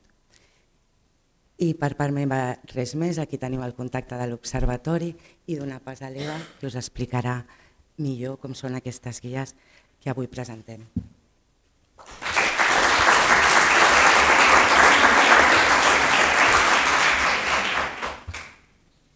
Bon dia a tots i totes. Millor no, però ho intento. Sí, la meva intenció és explicar-vos una mica el que trobareu, que trobareu a les guies. Um, en realitat l'objectiu és eh, el que hem anat comentant al llarg de tota la jornada d'avui i, i en, és, és parteix diguem, de la preocupació i de l'ocupació que vol tenir la secretaria, així com el, altres departaments, eh, doncs això, no? per, per fer un, un acurat seguiment i, i tota la prevenció i per intentar evitar el màxim possible els, aquest fenomen no? que tenim. Llavors el que m'agradaria explicar-vos una mica és doncs això que trobareu no? a les guies. Eh, Uh, vam treballar conjuntament, com deia la Saico i el Jordi, a diferents professionals de diferents uh, entitats. Vam pensar en estructurar les guies segons les diferents, després us ho explico, eh, però segons les diferents uh, situacions que ens podem trobar dins de l'escalada del suïcidi i pensant en els diferents col·lectius, en les diferents persones que treballen amb nosaltres als centres. Les guies, com veureu, no estan pensades o no estan dirigides pels equips multidisciplinars perquè pensem que, o partim de la base que els equips ja fan aquesta feina i estem parlant del protocol de prevenció de suïcidis i, de, i de la tasca del dia a dia que fan els equips, sinó en totes aquelles persones que col·laboren amb nosaltres des de diferents àmbits, ja sigui des de professionals de l'escola o tallers o, no, o, o, o professionals professionals que treballen amb nosaltres el dia a dia, voluntaris, eh, però també pensant en les famílies i per suposat també pensant en les persones privades de llibertat. D'acord? Llavors, des d'aquest eh, una mica des d'aquest enfocament i des d'aquest esperit, el que trobareu a les guies és una mica eh, això que us comento, no? pautes molt, molt senzilles, molt bàsiques, no pretenen ser un manual de tractament, són eh, doncs això, no? com recomanacions i, i, i en realitat com recordatoris de coses que són molt de sentit comú, molt bàsiques, però que és important que anem recordant i que anem fent eh, doncs això, no? recordatoris. Eh, estan molt pensades en eh, pensar que pot, o sigui, en, en intentar ajudar en aquella persona que està davant d'una persona en crisi, què, què li pot resultar útil, no? quines coses podem uh, fer que aquella persona recordi perquè pugui ajudar la persona que té, uh, que té davant. No? Per tant, uh, d'aquí les, les tres guies diferenciades, no? col·locant-nos molt bé o intentant col·locar-nos bé en els, en els diferents col·lectius i en els diferents perfils uh, i en el diferent contacte que tenen aquests, uh, aquestes persones amb, els, amb les persones internes, incloent els mateixos companys interns. No?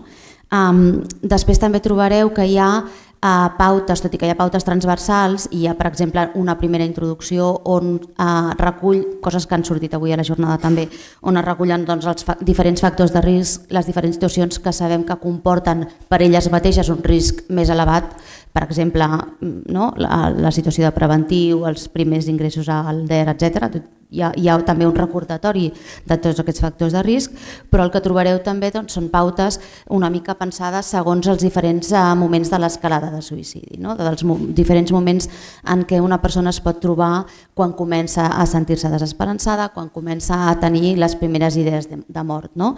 Llavors, des d'aquest primer moment eh, fins a, doncs, passant per un intent, fins a anar, malauradament, una mort per suïcidi, trobareu doncs, això, no? com diferents recomanacions segons els diferents moments d'aquesta doncs, aquesta progressió. No? amb la idea precisament que aquesta escalada no es produeixi d'intentar eh, interrompre aquesta escalada eh, tant com puguem. No? Eh, Després també trobareu un, un, una, unes pautes específiques per la conducta autolesiva no suïcida, d'això també en van tenir bastant debat de si o no, perquè tot i que estan interconnectades sabem que són fenòmens diferents i que tenen dinàmiques i etiologies diferents, però una mica el mateix, pensant en què pot necessitar aquella persona que està treballant en un centre penitenciari, doncs al final vam decidir incloure-ho, no? perquè si, si pot ajudar una vegada doncs valia, valia la pena, tot i que el fenomen és una mica diferent. No? Um, veureu que el que dèiem, eh, això no pretén ser ni una substitució del protocol, ni, és a dir, veureu que de fet a les guies pensades pels treballadors tota l'estona s'està fent, us, us refereix o es, es refereix a la persona a fes detecció de protocol, activa protocol, val? és a dir, per tant, només és en realitat com un, un, unes pautes senzilles de recordatori i de suport. Val? Um, ens va semblar molt important, i ja ho ha comentat a, eh, en Jordi, a acompanyar-nos precisament dels, de les diferents persones a qui nosaltres volíem adreçar les, les guies. No? I per tant hem comptat amb el suport i volíem agrair de persones, doncs, de personal de l'escola, de personal de, de tallers i del CIRE, eh, de professionals de treball social que també ens assessoraven pel tema de, um, de la guia de familiars i també amb persones internes com el Privades de Llibertat com el Mohamed.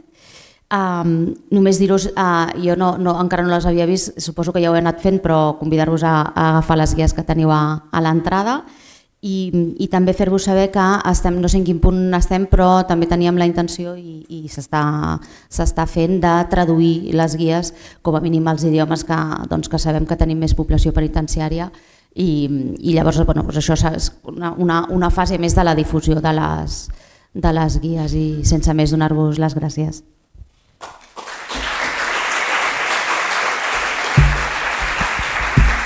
Moltíssimes gràcies per adaptar-vos. Eh, eh, us ho agraeixem, ho agraïm moltíssim. Eh, si a cas fem el canvi ara de taules i de persones, eh, comentar-vos en relació a això. El programa Benestar és un programa viu que estem eh, formant i avaluant contínuament durant aquests tres anys que ha de, que ha de durar. Per tant, eh, conforme es vagin produint situacions o canvis, segurament eh, el que va començar el, el primer dia serà molt diferent del com acabi. Eh, a tot cas, eh, eh, ten, teniu el programa penjat també el, com, com funciona i era una oportunitat que, que, que poguessin ficar aquesta, aquesta, aquesta presentació. Ara, eh, la tercera taula eh, us explicarà una mica l'aplicació directa l'ús de les guies i Mm, com ho veuen eh, persones que eh, les utilitzen contínuament únicament les guies, sinó les situacions en les que es troben. Eh, us presento eh, a Marcos Domingo, que és funcionari del cos tècnic d'especialistes de serveis penitenciaris des de fa 13 anys, ha treballat a diversos centres penitenciaris i parlarà de la seva experiència com a funcionari de vigilància. També ha treballat com a psicòleg, com a referents de gènere, com a formador de funcionaris i ha dut a terme diferents recerques relacionades amb el gènere i la antropologia. Actualment està assignat com a tècnic a l'àrea de planificació i projectes estratègics en diversos projectes transversals del departament. Eh, Cecília Borràs és presidenta eh, de, després del suïcidi, Associació de Supervivents, de SAS.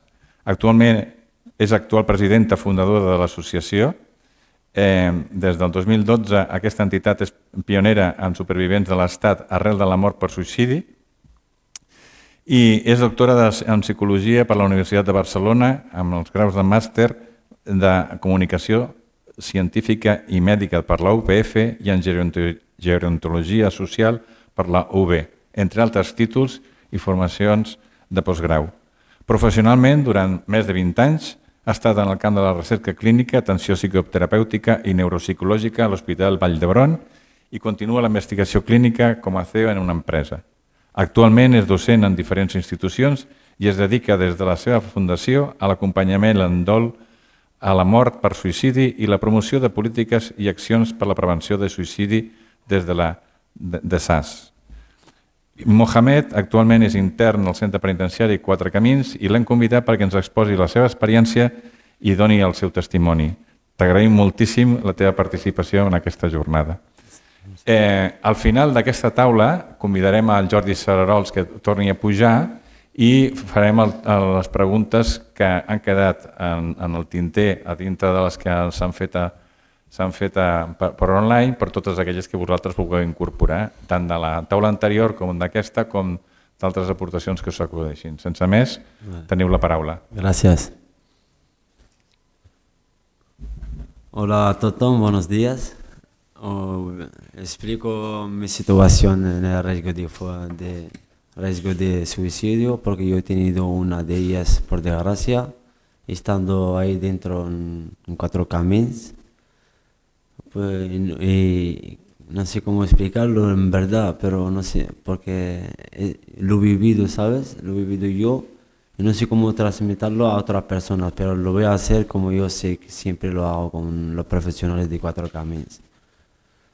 Eh, es que estaba, estaba mal, tenía las cosas que me salían mal, no tenía ninguna salida, tenía problemas con, eh, con el idioma, el español, venía de otro continente, no tenía familiar, eh, la falta de cariño, tenía mucho, me faltaban muchas cosas.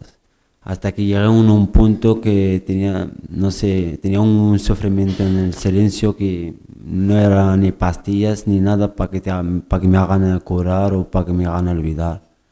Porque en el tiempo, poco a poco, poco a poco, intenté muchas cosas, deporte, muchas cosas, pero al final no conseguí nada bueno, porque no tenía apoyo ni ayuda. Pero después mm, he conocido a unas profesionales de cuatro caminos, les doy gracias a todos, la verdad que los programas del DIU, del BIU, de, todos, de todas las programas, me han ayudado un montón, la verdad. Y he aprendido a ayudar y ayudar a los demás también. Ayudar a, colaborar, a dar el valor de la palabra, a, a poner nombre a la situación, a preparar las herramientas para que cuando enfrenta algún problema igual que este, pues a lo mejor puedo yo solo, algún día no tendré ni que tener la señorita Raquel, ni ningún profesional de cuatro cames, a lo mejor algún día estaré fuera, sí o sí. Pues de poca, de todo esto me llevo que la verdad, si uno tiene la voluntad y tiene la, tiene la voluntad tiene herramientas y tiene gente que con ganas de ayudarle, que aunque está precio, eh, sí se puede, se puede aprender muchas cosas y se puede llegar hasta que tú le haces aprender a otras personas. No sé, yo lo veo así, pero me gustaría que hicieran un poco de preguntas para que yo salga del corazón lo que se siente de verdad.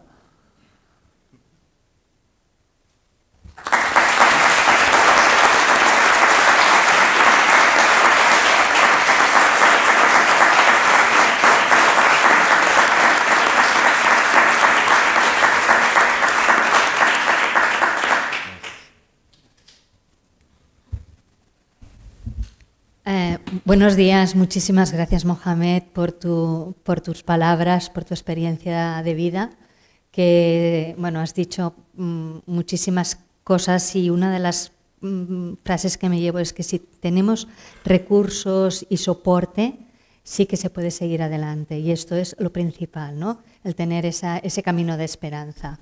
Yo creo que, mm, siguiendo un poco en la línea de, del que parlava Mohamed, voldria linkar-ho amb, amb el paper que he de parlar jo avui sobre les guies als familiars. Sí. A vegades ens oblidem que les persones que entren en centres penitenciaris estaven en una situació molt excepcional, on les presons, el centre, eh, compleix per quatre els riscos eh, de, de conducta suïcida, l'aïllament, la solitud. Òbviament és un, és un entorn mm, bueno, eh, un, com diríem, antipàtic, no? en el sentit per, per poder portar una vida amb, amb certa esperança. Evidentment, estar privat de llibertat és una de les situacions més dures que una persona ha de, ha de passar. Però eh, és important eh, i és molt interessant el que el, l'estudi ANAIS ens, ens diu en aquest sentit, i és que els familiars som un factor important. d'aquestes persones que estan en un entorn tan hostil per la, i amb tant de risc de, de, de conducta suïcida.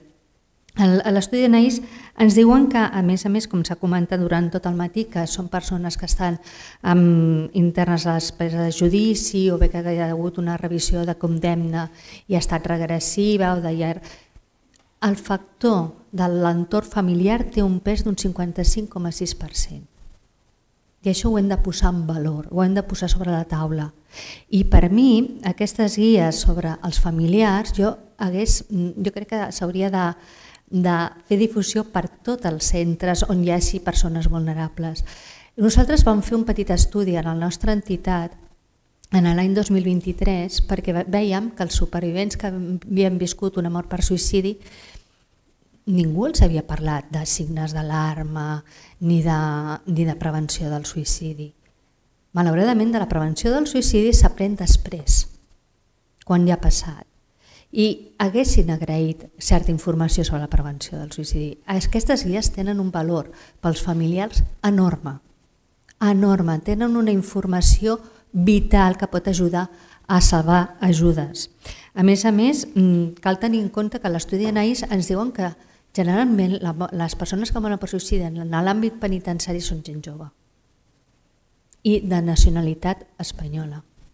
Hem de procurar que l'entorn familiar o d'amistats, a vegades no és ben bé la família, però l'entorn de les amistats siguin un factor protector, que puguin saber de la prevenció del suïcidi. No els hi podem donar el pes de que estiguin capacitats, perquè no ho és. És que sàpiguen que ells juguen un paper molt important per detectar aquelles frases que a les trobades familiars potser es diuen i que poden passar desapercebuts, que entenguin que la situació en què es troba el seu familiar dintre de presó està en un risc, que entenguin que quan hi ha conductes que poden eh, semblar com normals o de, o de comiats o de possiblement amenaces velades de que no puc més, això ho hem de prendre seriosament perquè s'ha de trencar molts mites i els primers mites que hem de, és entre tots, però també els familiars que tenen una persona eh, en, en un centre penitenciari. A considerar el suïcidi com un covard, mai, mai, mai s'ha de tri trivialitzar el patiment de les persones o com un, un valent, no? Eh, la persona que se suïcida és que és molt valent per fer això.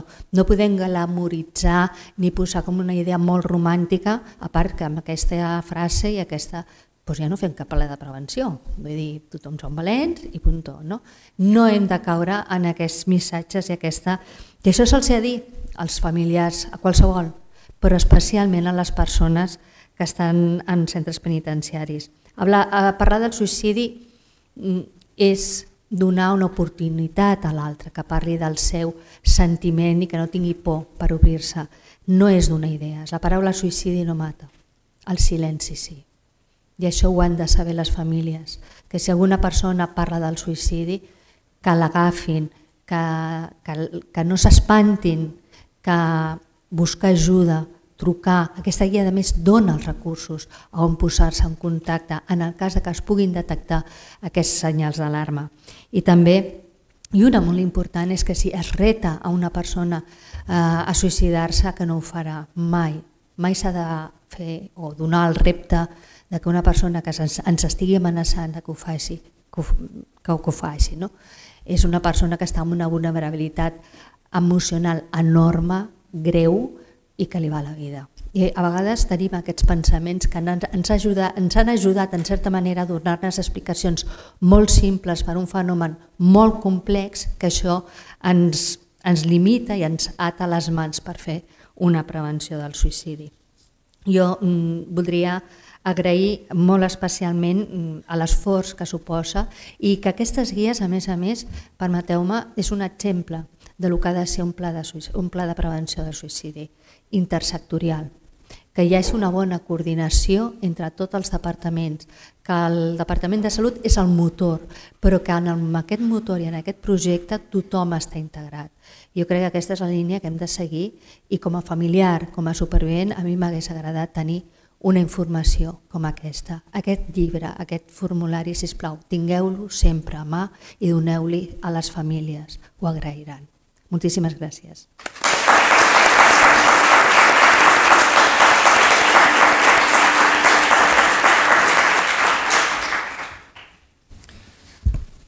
Bon dia a tothom.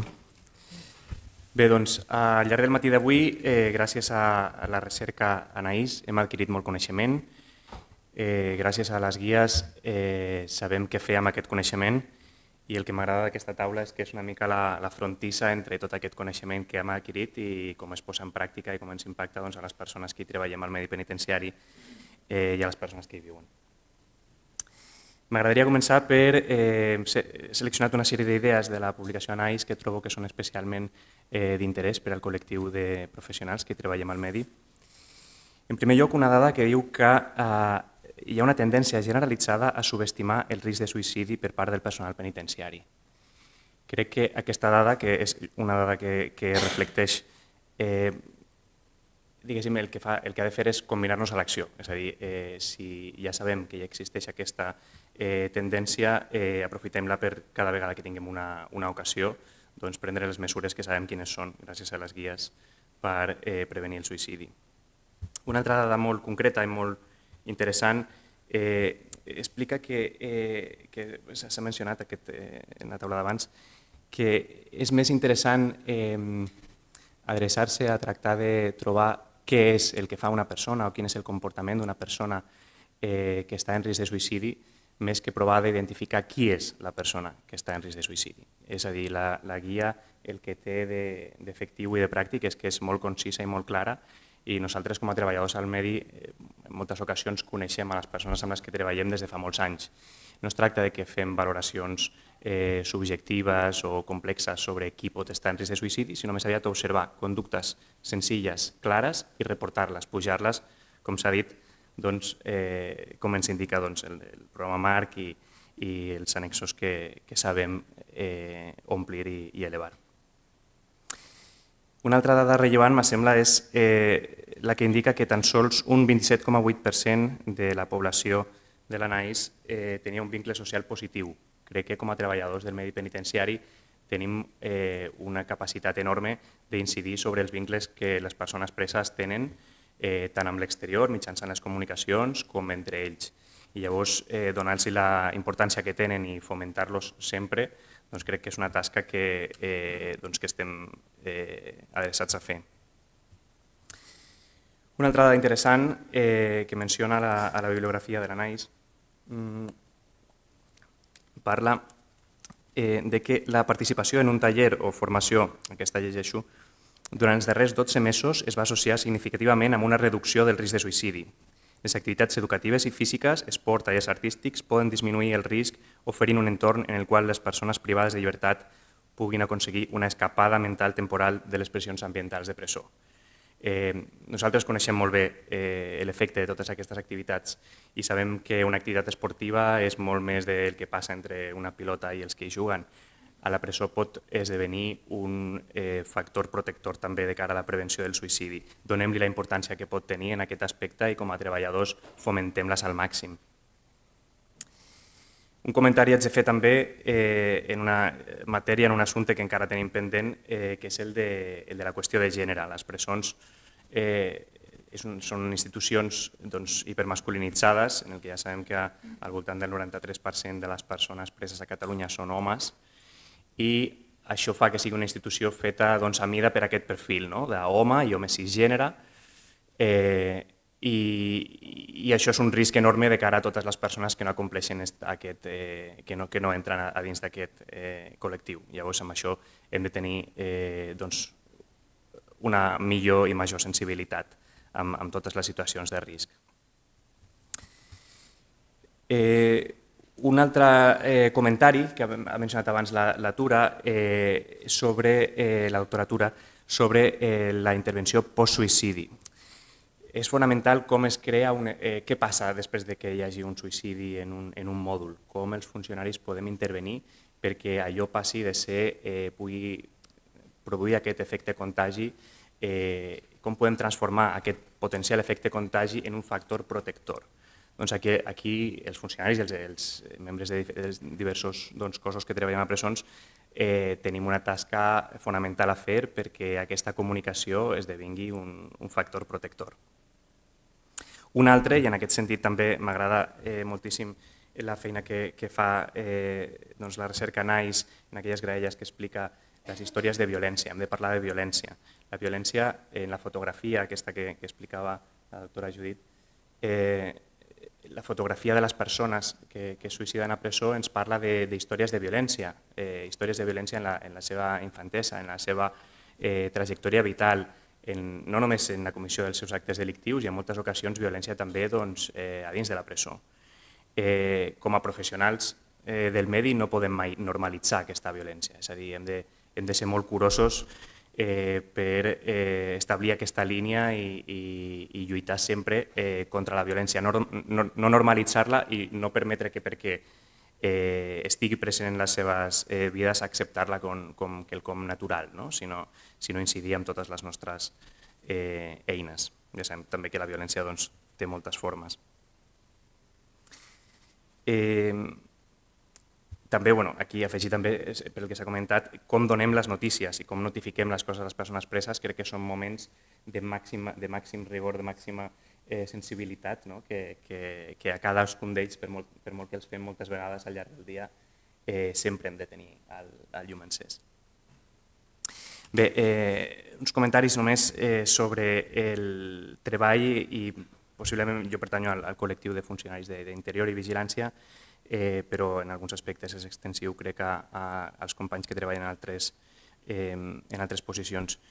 Eh, si hagués de reduir el que haig de dir en aquestes paraules eh, i ho hagués de fer en una frase, diria, companys, escrivim. És a dir, escriure és la nostra millor manera de posar en marxa la maquinària que, eh, i a les guies ens explica clarament com fer-ho, a part de que som ben coneixedors dels nostres protocols.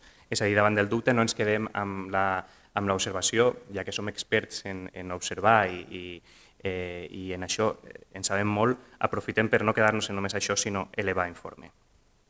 No, ningú coneix millor que nosaltres els intents perquè passem eh, molt temps amb ells i això ens permet ser els primers i màxims testimonis de totes aquestes eh, peces que poden esdevenir un, un risc de suïcidi.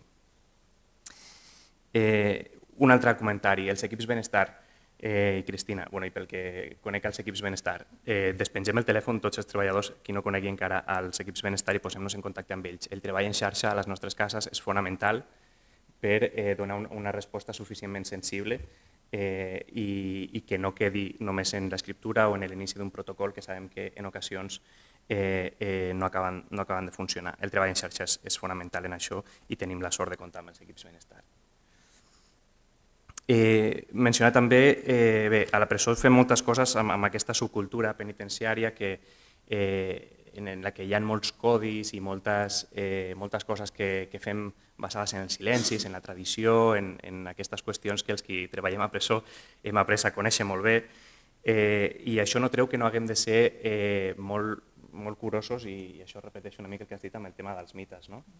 Eh, frases com suïcidar-se de covards o és de persones febles o, o, o també relacionat amb el gènere, si ets prou home no et suïcides, doncs no, eh, no només no perpetuar-les en, en no dir-les, sinó aprofitar cada vegada que les escoltem doncs, per intervenir, per generar un espai i parlar, perquè el tema de parlar del suïcidi eh, és, eh, és un factor preventiu no només per a la persona que està en risc, sinó eh, doncs per tots nosaltres. I això em lliga amb la següent idea que volia dir, que és que nosaltres, per molt que portem uniforme i estiguem molt formats i ens sapiguem la teoria, tampoc som immunes a, a, a doncs, experimentar una situació traumàtica quan fem una intervenció en suïcidi. I en això també agraeixo, una vegada més, no sé quantes vegades són les gràcies, a, eh, als qui heu preparat les guies doncs, per el telèfon específic que hi ha atenció psicològica i, eh, insisteixo, parlem, parlem entre nosaltres, parlem del que ens passa, perquè eh, cuidar qui cuida és doncs, un requisit necessari per poder continuar amb aquesta,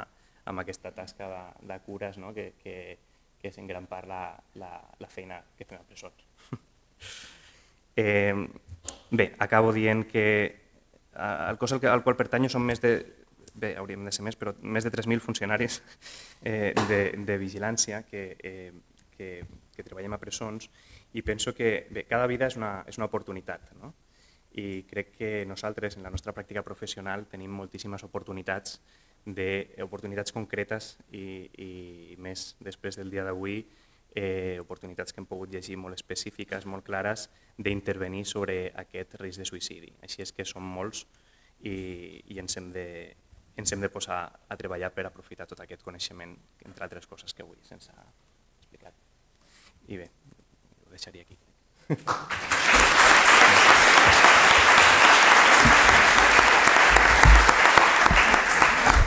Moltíssimes gràcies a tots. No es moveu la taula. Ara s'incorpora Jordi, com havíem dit, i obrim el torn de preguntes que vulgueu formular eh, sobre aquesta taula, sobre la taula anterior, o preguntes que han quedat, eh, que han quedat a, a, a, anava a dir sobre la taula, no, ha quedat a, a, a internet. Eh, dir, dir respecte a això que ara comentava fa un moment el Marcos, eh, que, que eh, justament els resultats de la, de la, de la recerca la vam avaluar amb l'equip que estem treballant en la formació de bosses de treball. I ja es va fer una píndola en la que vam veure com a les noves bosses de treball ho podíem introduir en aquests cursos que fem de tres setmanes a la OMS perquè eh, els nous eh, candidats a ser eh, funcionaris tècnics especialistes doncs incorporessin aquestes recomanacions que s'estaven fent. Tenim una persona que específicament està dissenyant aquesta píndola per incorporar-la com, a, com a tal i aquest és un dels exemples que us estem dient que això està en contínua evolució. El programa Benestar, el programa Rugby, els programes que s'han engegat, són programes que estan vius i conforme vagin apareixent coses les anirem incorporant. Les vostres recomanacions ens ajuden moltíssim a veure si anem bé o no anem bé i cap on les hem de potenciar. Acabem de reeditar les guies, les guies aquestes perquè han tingut molt èxit, les hem esgotat. I la nostra companya Penélope, avui, no sé, Empara, ha fet una carrera enorme perquè eh, la, la, la gestora ens, ens portés les guies i ens van arribar ahir a les dues i mitja de la tarda. Ja han pogut penjar-les avui aquí un altre cop, però estàvem sense elles perquè ha estat tenint molt la bona recepció i molt bona, Aprofito per comentar que si teniu alguna cosa doncs les podeu demanar i us les faré, facilitarem en tot, en tot el carinyo i gust que li estem posant a aquesta situació. Bé, a partir d'aquí eh, iniciem torns de preguntes, no sé si a la sala en tenim, si no, mentrestant vaig formulant algunes que hi ha online. Hi ha alguna pregunta que vulgueu? No veig a tothom, eh? Vull dir, sí. sí així. Aprofitant el que ha comentat ara fa, fa un moment Marcos, Eh, hi havia una pregunta des de l'inici que volien, volien fer, Jordi, em sembla que et tocarà tu pringar, eh, volien saber si s'estaven fent coses de prevenció de suïcidis de funcionaris relacionats amb la justícia, que també n'hi ha. Eh, amb la seva feina, entenc jo que vol dir aquesta persona, la Maria Pilar. Es, es pot, sí, amb els funcionaris. Es fa alguna cosa per prevenir? Amb els funcionaris, en principi, hi ha una, vosaltres teniu, disposeu d'una formació que, que es pot afegir tots els professionals del departament, per tant hi ha una formació al CFE de prevenció del suïcidi i a banda d'això nosaltres dins del programa Mar de Prevenció del Suïcidi amb, amb el suport, bueno, amb l'acció del programa Benestar es fan formacions continuades als centres eh, periòdiques en, per donar compliment als indicadors d'avaluació del programa MARC. I són formacions i sensibilitzacions que, en alguns centres es fan els, els funcionaris que entren nous i en altres centres es fa periòdicament com a recordatori, però sí, es fa. Són píndoles. No, no tanquis el micro, no. Ah. Eh, la Núria pregunta, en relació al projecte Benestar, si no es va preveure la figura del treballador social en, el, en, els, en els equips. Està ah. previst corregir aquesta absència professional? Sí, està previst. Està previst, però depèn. El, el programa Benestar dona, dona compliment a un acord de govern per incidentalitat eh, conjuntament amb el rugby. Llavors, en un primer moment es contempla accionar programes que incideixin directament en aquesta problemàtica i, i en el medi ordinari. Òbviament, el medi ordinari també estan els treballadors socials, s'ha de tenir en compte, precisament per pits familiars, per, com deia la Cecília, que és l'experta, perquè la mirada de la família és bàsica en aquest benestar, i en una segona fase, si aquest programa passés a ser estructural dins del Departament de Justícia, que esperem que sí, òbviament la figura del treballador social i altres rols han de contemplar-se. Uh -huh. Blanca pregunta si tenim alguna explicació per, per entendre per què es va donar l'increment tan elevat l'any 2022. Eh, amb l'efecte post-pandèmia, penseu que va ser alguna cosa perquè aquell any... L'informe de la OMS que comentava abans, que destaca la, els resultats de, de la situació de salut de les presons europees que es va presentar el 2023, precisament és de 2022 les dades, i sí que en l'informe reflecteix una situació vinculada a les situacions d'aïllament per Covid. Per tant, l'informe és bastant, bastant clar. Uh -huh. En general, eh, Europa. Mm, podeu, si voleu fer aportacions, però si no, aquí sembla que... Eh, Josep Maria pregunta si davant de casos d'interns amb, amb, amb PPS s'ha estudiat la possibilitat de que la medicació prescrita es pugui donar diluïda per evitar la picaresca del tràfic de medicació tan buscada per molts interns. Que la, la medicació que es dongui, en lloc de ser eh, en pastilles, entenc que vol, volen dir, si, si es podria donar diluïda per evitar la picaresca, que entenc que, que diu aquesta persona que es produeix, de tràfic de medicació que deu estar molt, molt buscada pels interns. Pues, la verdad que sí, entre la toxomanía hay gente que se toma pastillas el, eh, en el programa que está haciendo se está dando un, gran engaño, porque la pastilla no le está dando lo que está tomando. Entonces está engañando a la Junta y, a él mismo, y a la familia que le está esperando fuera. Eso es verdad, cuesta, pero no todo el mundo, pero sí que es verdad. I, I penseu que hi ha alguna possibilitat de canviar això? Com es pot una posibilidad es que no se puede, no se puede, porque cuando uno lo toma está, está fuera en la calle. Y cuando está fuera de la calle no, no está acompañado con ninguna profesional, con nadie, no, no se puede. Es, tiene que tener la decisión de él mismo y decir, no, no voy a tomar y no necesito la pastilla. Pero no sé, la verdad que no, no sé cómo decirte para a ver como si que no, toma esa pastilla, porque si no, si, si sale de permiso, si toma alcohol y cosas que no tienen que tomarse, que tienen el PIT, para tapar esa tapadera tiene que tomar esa pastilla, si no, tiene toda la tapadera, una de las dos. Pues por eso no, aún no tengo, no me sale ninguna solución a ver cómo se lo puede hacer. Marcos o Jordi, ¿cómo veo? Yo creo que estoy de acuerdo con Mohamed, la, la, situación, la situación de la medicación es muy compleja y depende de uno mismo, ¿no?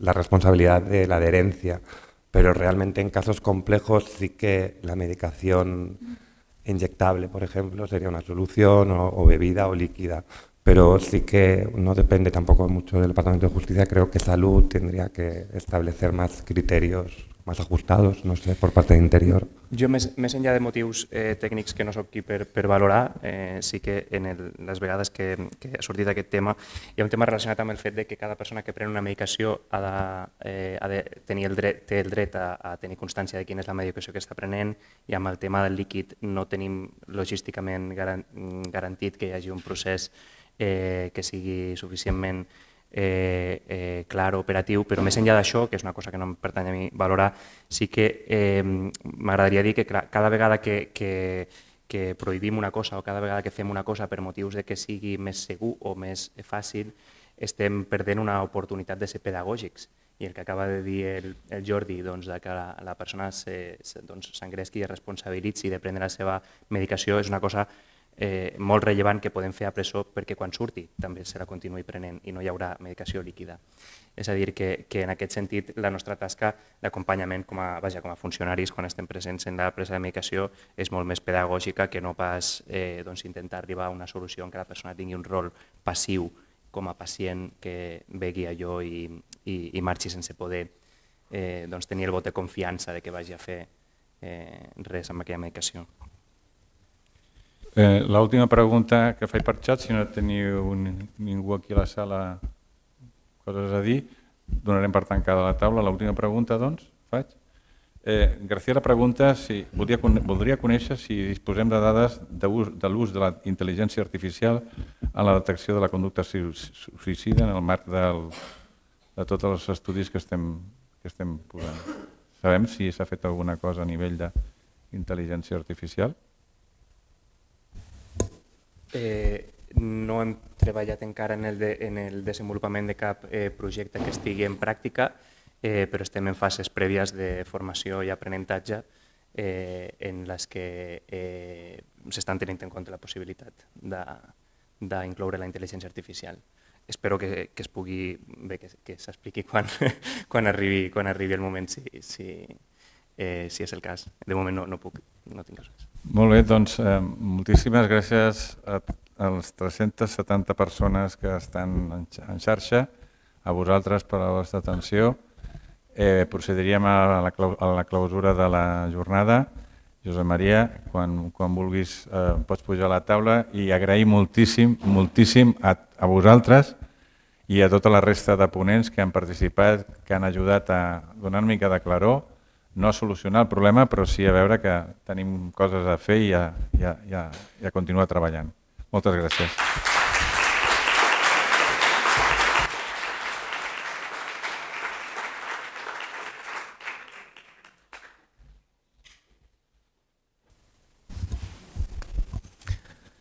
Bon dia a totes i a tots. Eh, a veure, en el, la, la jornada d'avui ha estat, jo diria, interessantíssima, no el següent, i a més és, és molt oportuna pel, pel departament per el moment que ens trobem nosaltres.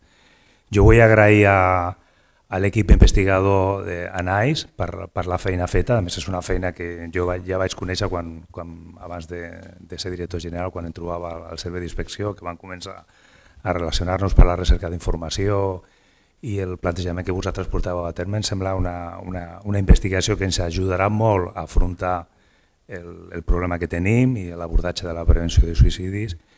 Eh, agrair també el desenvolupament del, que esteu portant a terme els professionals en, en el programa de benestar, en les guies d'actuació, agrair el centre d'estudis, no? La, com sempre, no? l'impuls que, que, que ens dona d'ajuda en aquest tipus, tipus de recerques i en concret en aquest tema tan sensible, el senyor Tristan, no, per, per la seva presència aquí i, per, i no solament per la presència d'avui, sinó per, per la feina de, de coordinació que porten a terme, de treball conjunt amb el, amb el Departament de Salut també, amb l'ICS, amb tots els proveïdors de salut mental que intervenen en, en la salut mental de les persones privades i llibertats als centres de Catalunya. O sigui, aquí hi treballa molta, molta gent per intentar eh, abordar un tema que per nosaltres és de, jo diria, no diria el prioritari, però és dels prioritaris, perquè és molt difícil establir qual, qual és prioritari, perquè tenim un front de, de, de temes considerable i, i que hem d'abordar en, aquest, en aquest moment. No?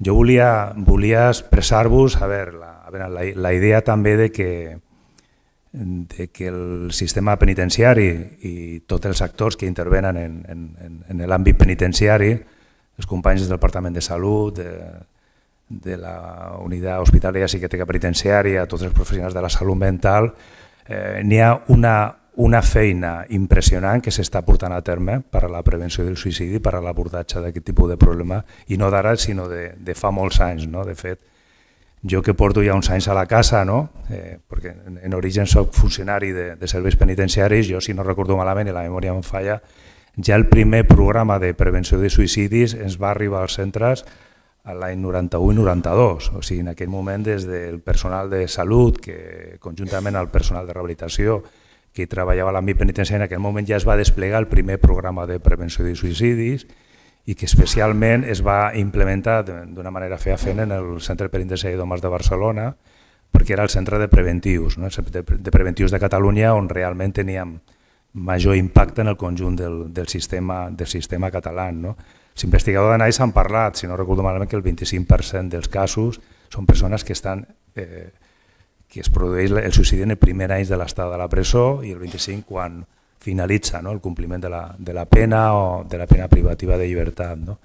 Què vol dir això? A veure, eh, d'entrada hem, de considerar que, que a vegades eh, no, no es té la societat no té, no té clar que alguns sectors de la societat que nosaltres hem de dignificar la, les presons, hem de treballar perquè la, la, la situació, les condicions en les que les persones privades de llibertat executen la, la mesura de privació de llibertat sigui el més digne possible, el més proper, el, eh, ha de ser el, el, el més semblant possible al que seria la, la vida en llibertat, amb unes condicions dignes, i això ajuda molt a, a, a que, diu aquest programa, programa benestar, no? a que aquella persona pugui desenvolupar una vida en un centre penitenciari en la millor, en la millor condició possible, no? i amb tot el suport, amb tota l'ajuda necessària i, i amb l'observació de tots els drets que aquesta, aquestes persones tenen com a, com a ciutadans. No? Això és importantíssim, això ajuda molt. Penseu que l'impacte de la pena privativa de llibertat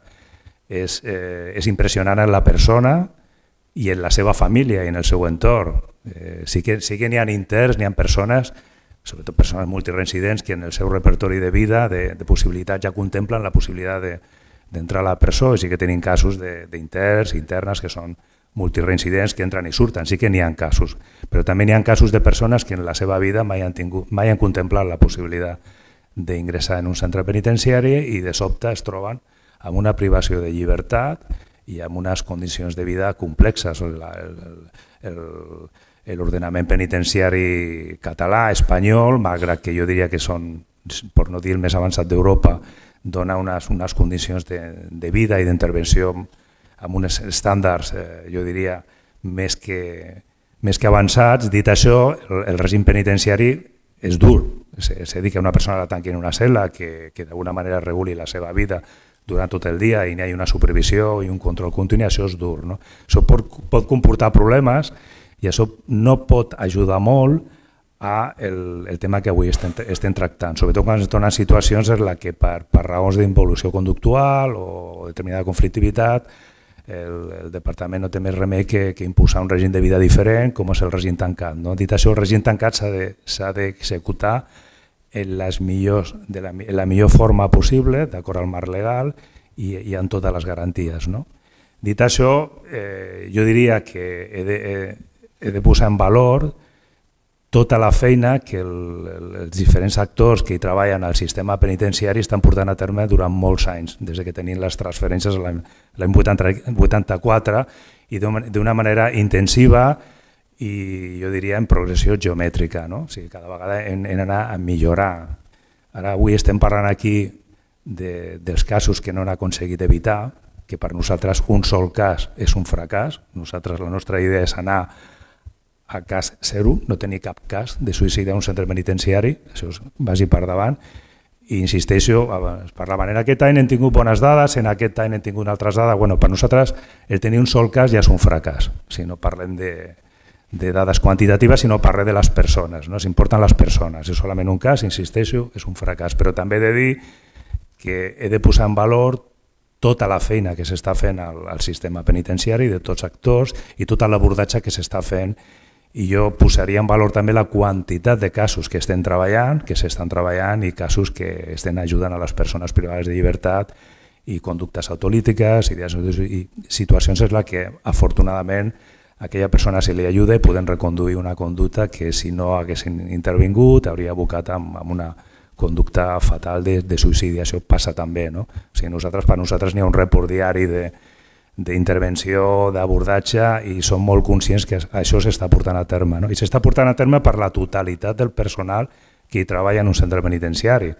Jo dit la, quan dic la totalitat parlo de, des del personal de vigilància, personal de rehabilitació, personal de salut, personal d'educació, fins i tot ahir teníem una reunió a la comissió permanent de la taula de participació social, també en parlaven amb ells perquè entenien que també les entitats que, treballen i col·laboren amb nosaltres, també són actors en, en el sistema i que també formen part d'aquest engranatge. Jo penso que entre tots hem d'intentar que aquests casos no, no es produeixen.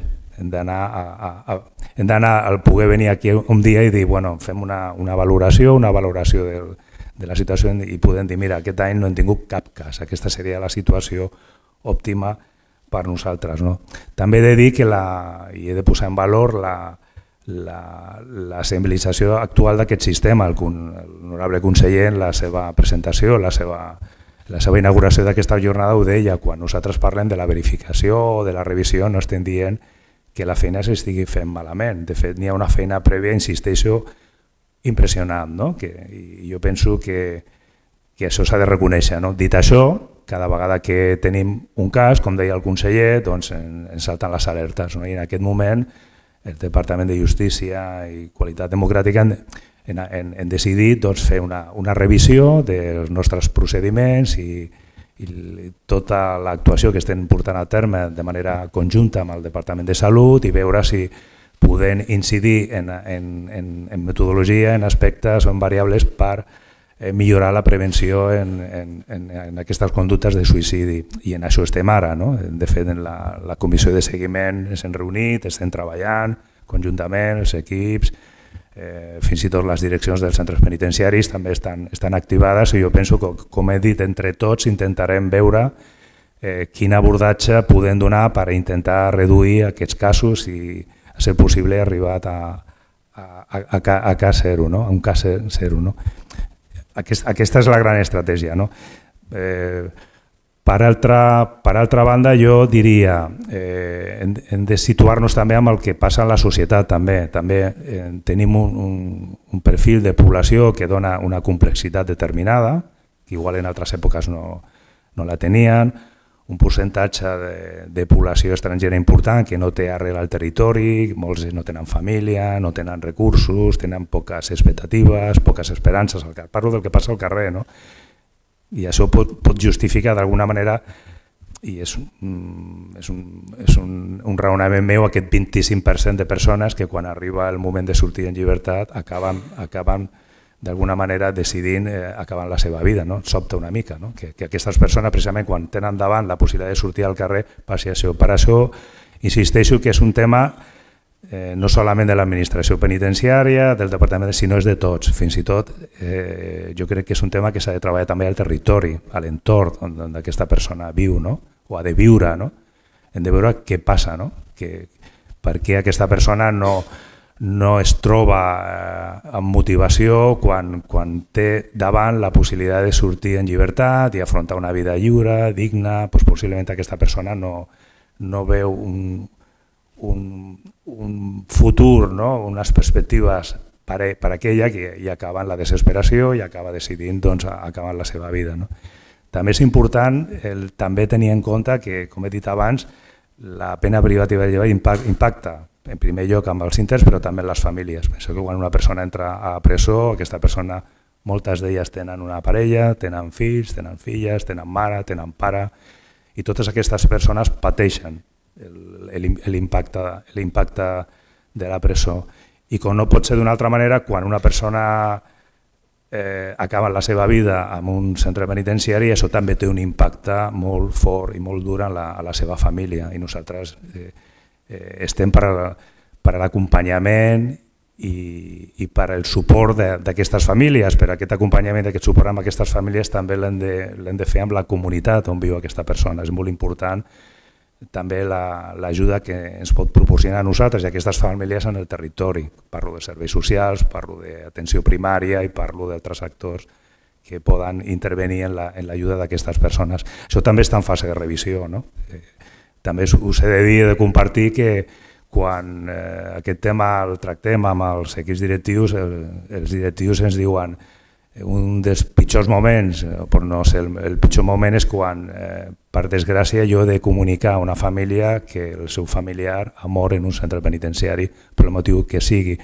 Això és dels moments més dur que pot, pot tenir un, un directiu penitenciari i és d'una alta responsabilitat. No? Això, això, això en diuen a mi els, els directors, no? ho pateixen molt també ells. No? Fins i tot, com deia la directora del centre d'estudis, eh, recentment s'ha portat a terme una, una formació, no? una formació pels equips directius per, per d'alguna manera donar-los eines i donar-los suport per poder eh, fer aquesta tasca que, que és la seva obligació com a, com a responsable del, del centre penitenciari i com a directiu públic del, del departament el informar, ajudar i acompanyar aquest, aquestes famílies. No? També això estem en fase de revisar-lo, eh? a veure com, com podem millorar de manera que la, les famílies es sentin acompanyades eh, i se sentin en, en, en suport en tot moment des de que s'ha produït aquesta, aquesta desgràcia. I esperem que això, jo diria, a veure, intentarem arribar a, a casa zero, però això serà, serà, serà difícil, serà difícil per, perquè nosaltres, eh, d'alguna manera, ten, el que passa a la societat és el que passa a l'interior dels centres penitenciaris. L'entorn nostre és un entorn d'alta complexitat no? i és una prioritat, jo sé, per al Departament de Salut abordar la problemàtica del suïcidi en la, a, la nostra, a la nostra societat. No? I per desgràcia, per desgràcia tenim casos. No? Nosaltres també com a personal penitenciari a vegades algú podria dir bueno, la, la persona té la, la llibertat de fer el que vulgui, si decideix acabar la seva vida, algú, algú podria dir això. Doncs pues no. En el cas nostre, nosaltres tenim molt clar que nosaltres tenim l'obligació, malgrat que aquella persona hagi decidit acabar la seva vida, ajudar-la, acompanyar-la perquè, perquè això no passi. I fins i tot tècnicament parlem de la relació d'especial subjecció, no? Que tècnicament des de la vessant jurídica existeix, però més enllà d'aquest factor jurídic, nosaltres tenim clar que aquestes persones la, les hem d'ajudar, les hem d'ajudar i hem de treballar amb elles per, perquè abandonin aquesta manera d'abordar la, la seva vida i sobretot hem d'adoptar totes les mesures que estiguin al nostre abast, totes, quan dic totes, dic totes perquè això no passi. No? I per això nosaltres, el, el personal penitenciari necessita de, del Departament de Salut, necessita dels professionals de la salut mental, necessiten d'altres professionals, necessiten el voluntariat, que també ens ajuden molt, les entitats, o sigui, jo penso, penso que al final és un tema en xarxa que, que hem, que hem d'abordar abordar entre tots. No? I bueno, jo, jo donaria aquest, no, puc, no puc donar un missatge de, positiu perquè sempre dic que un sol cal és un fracàs, però sí he de dir, insisteixo molt, que s'està fent una gran tasca i n'hi ha una alta sensibilització del personal que hi treballa als centres penitenciaris. Això voldria donar aquest missatge. No? I quan parlo del personal parlo de la totalitat, eh? vigilància, rehabilitació, tots. No? I bueno, esperem que, insisteixo molt, que d'aquí a un temps es poden trobar aquí en aquesta sala, presentar una altra recerca per poder explicar com han aconseguit millorar, eh, abordar o erradicar aquesta problemàtica als nostres centres penitenciaris. Moltes gràcies a totes, a totes i a tots. Han, han dit que eren aproximadament 370 persones en, en, en, en xarxa, no? més les persones que estan aquí. déu nhi Jo penso que això és una bona notícia, perquè n'hi ha molt d'interès en, en, en aquesta problemàtica i jo a totes les persones que, que, que hi participeu en, a, en aquesta jornada també us convido a, a formar part d'aquest projecte d'abordatge de, de, de, del problema que tenim. Eh?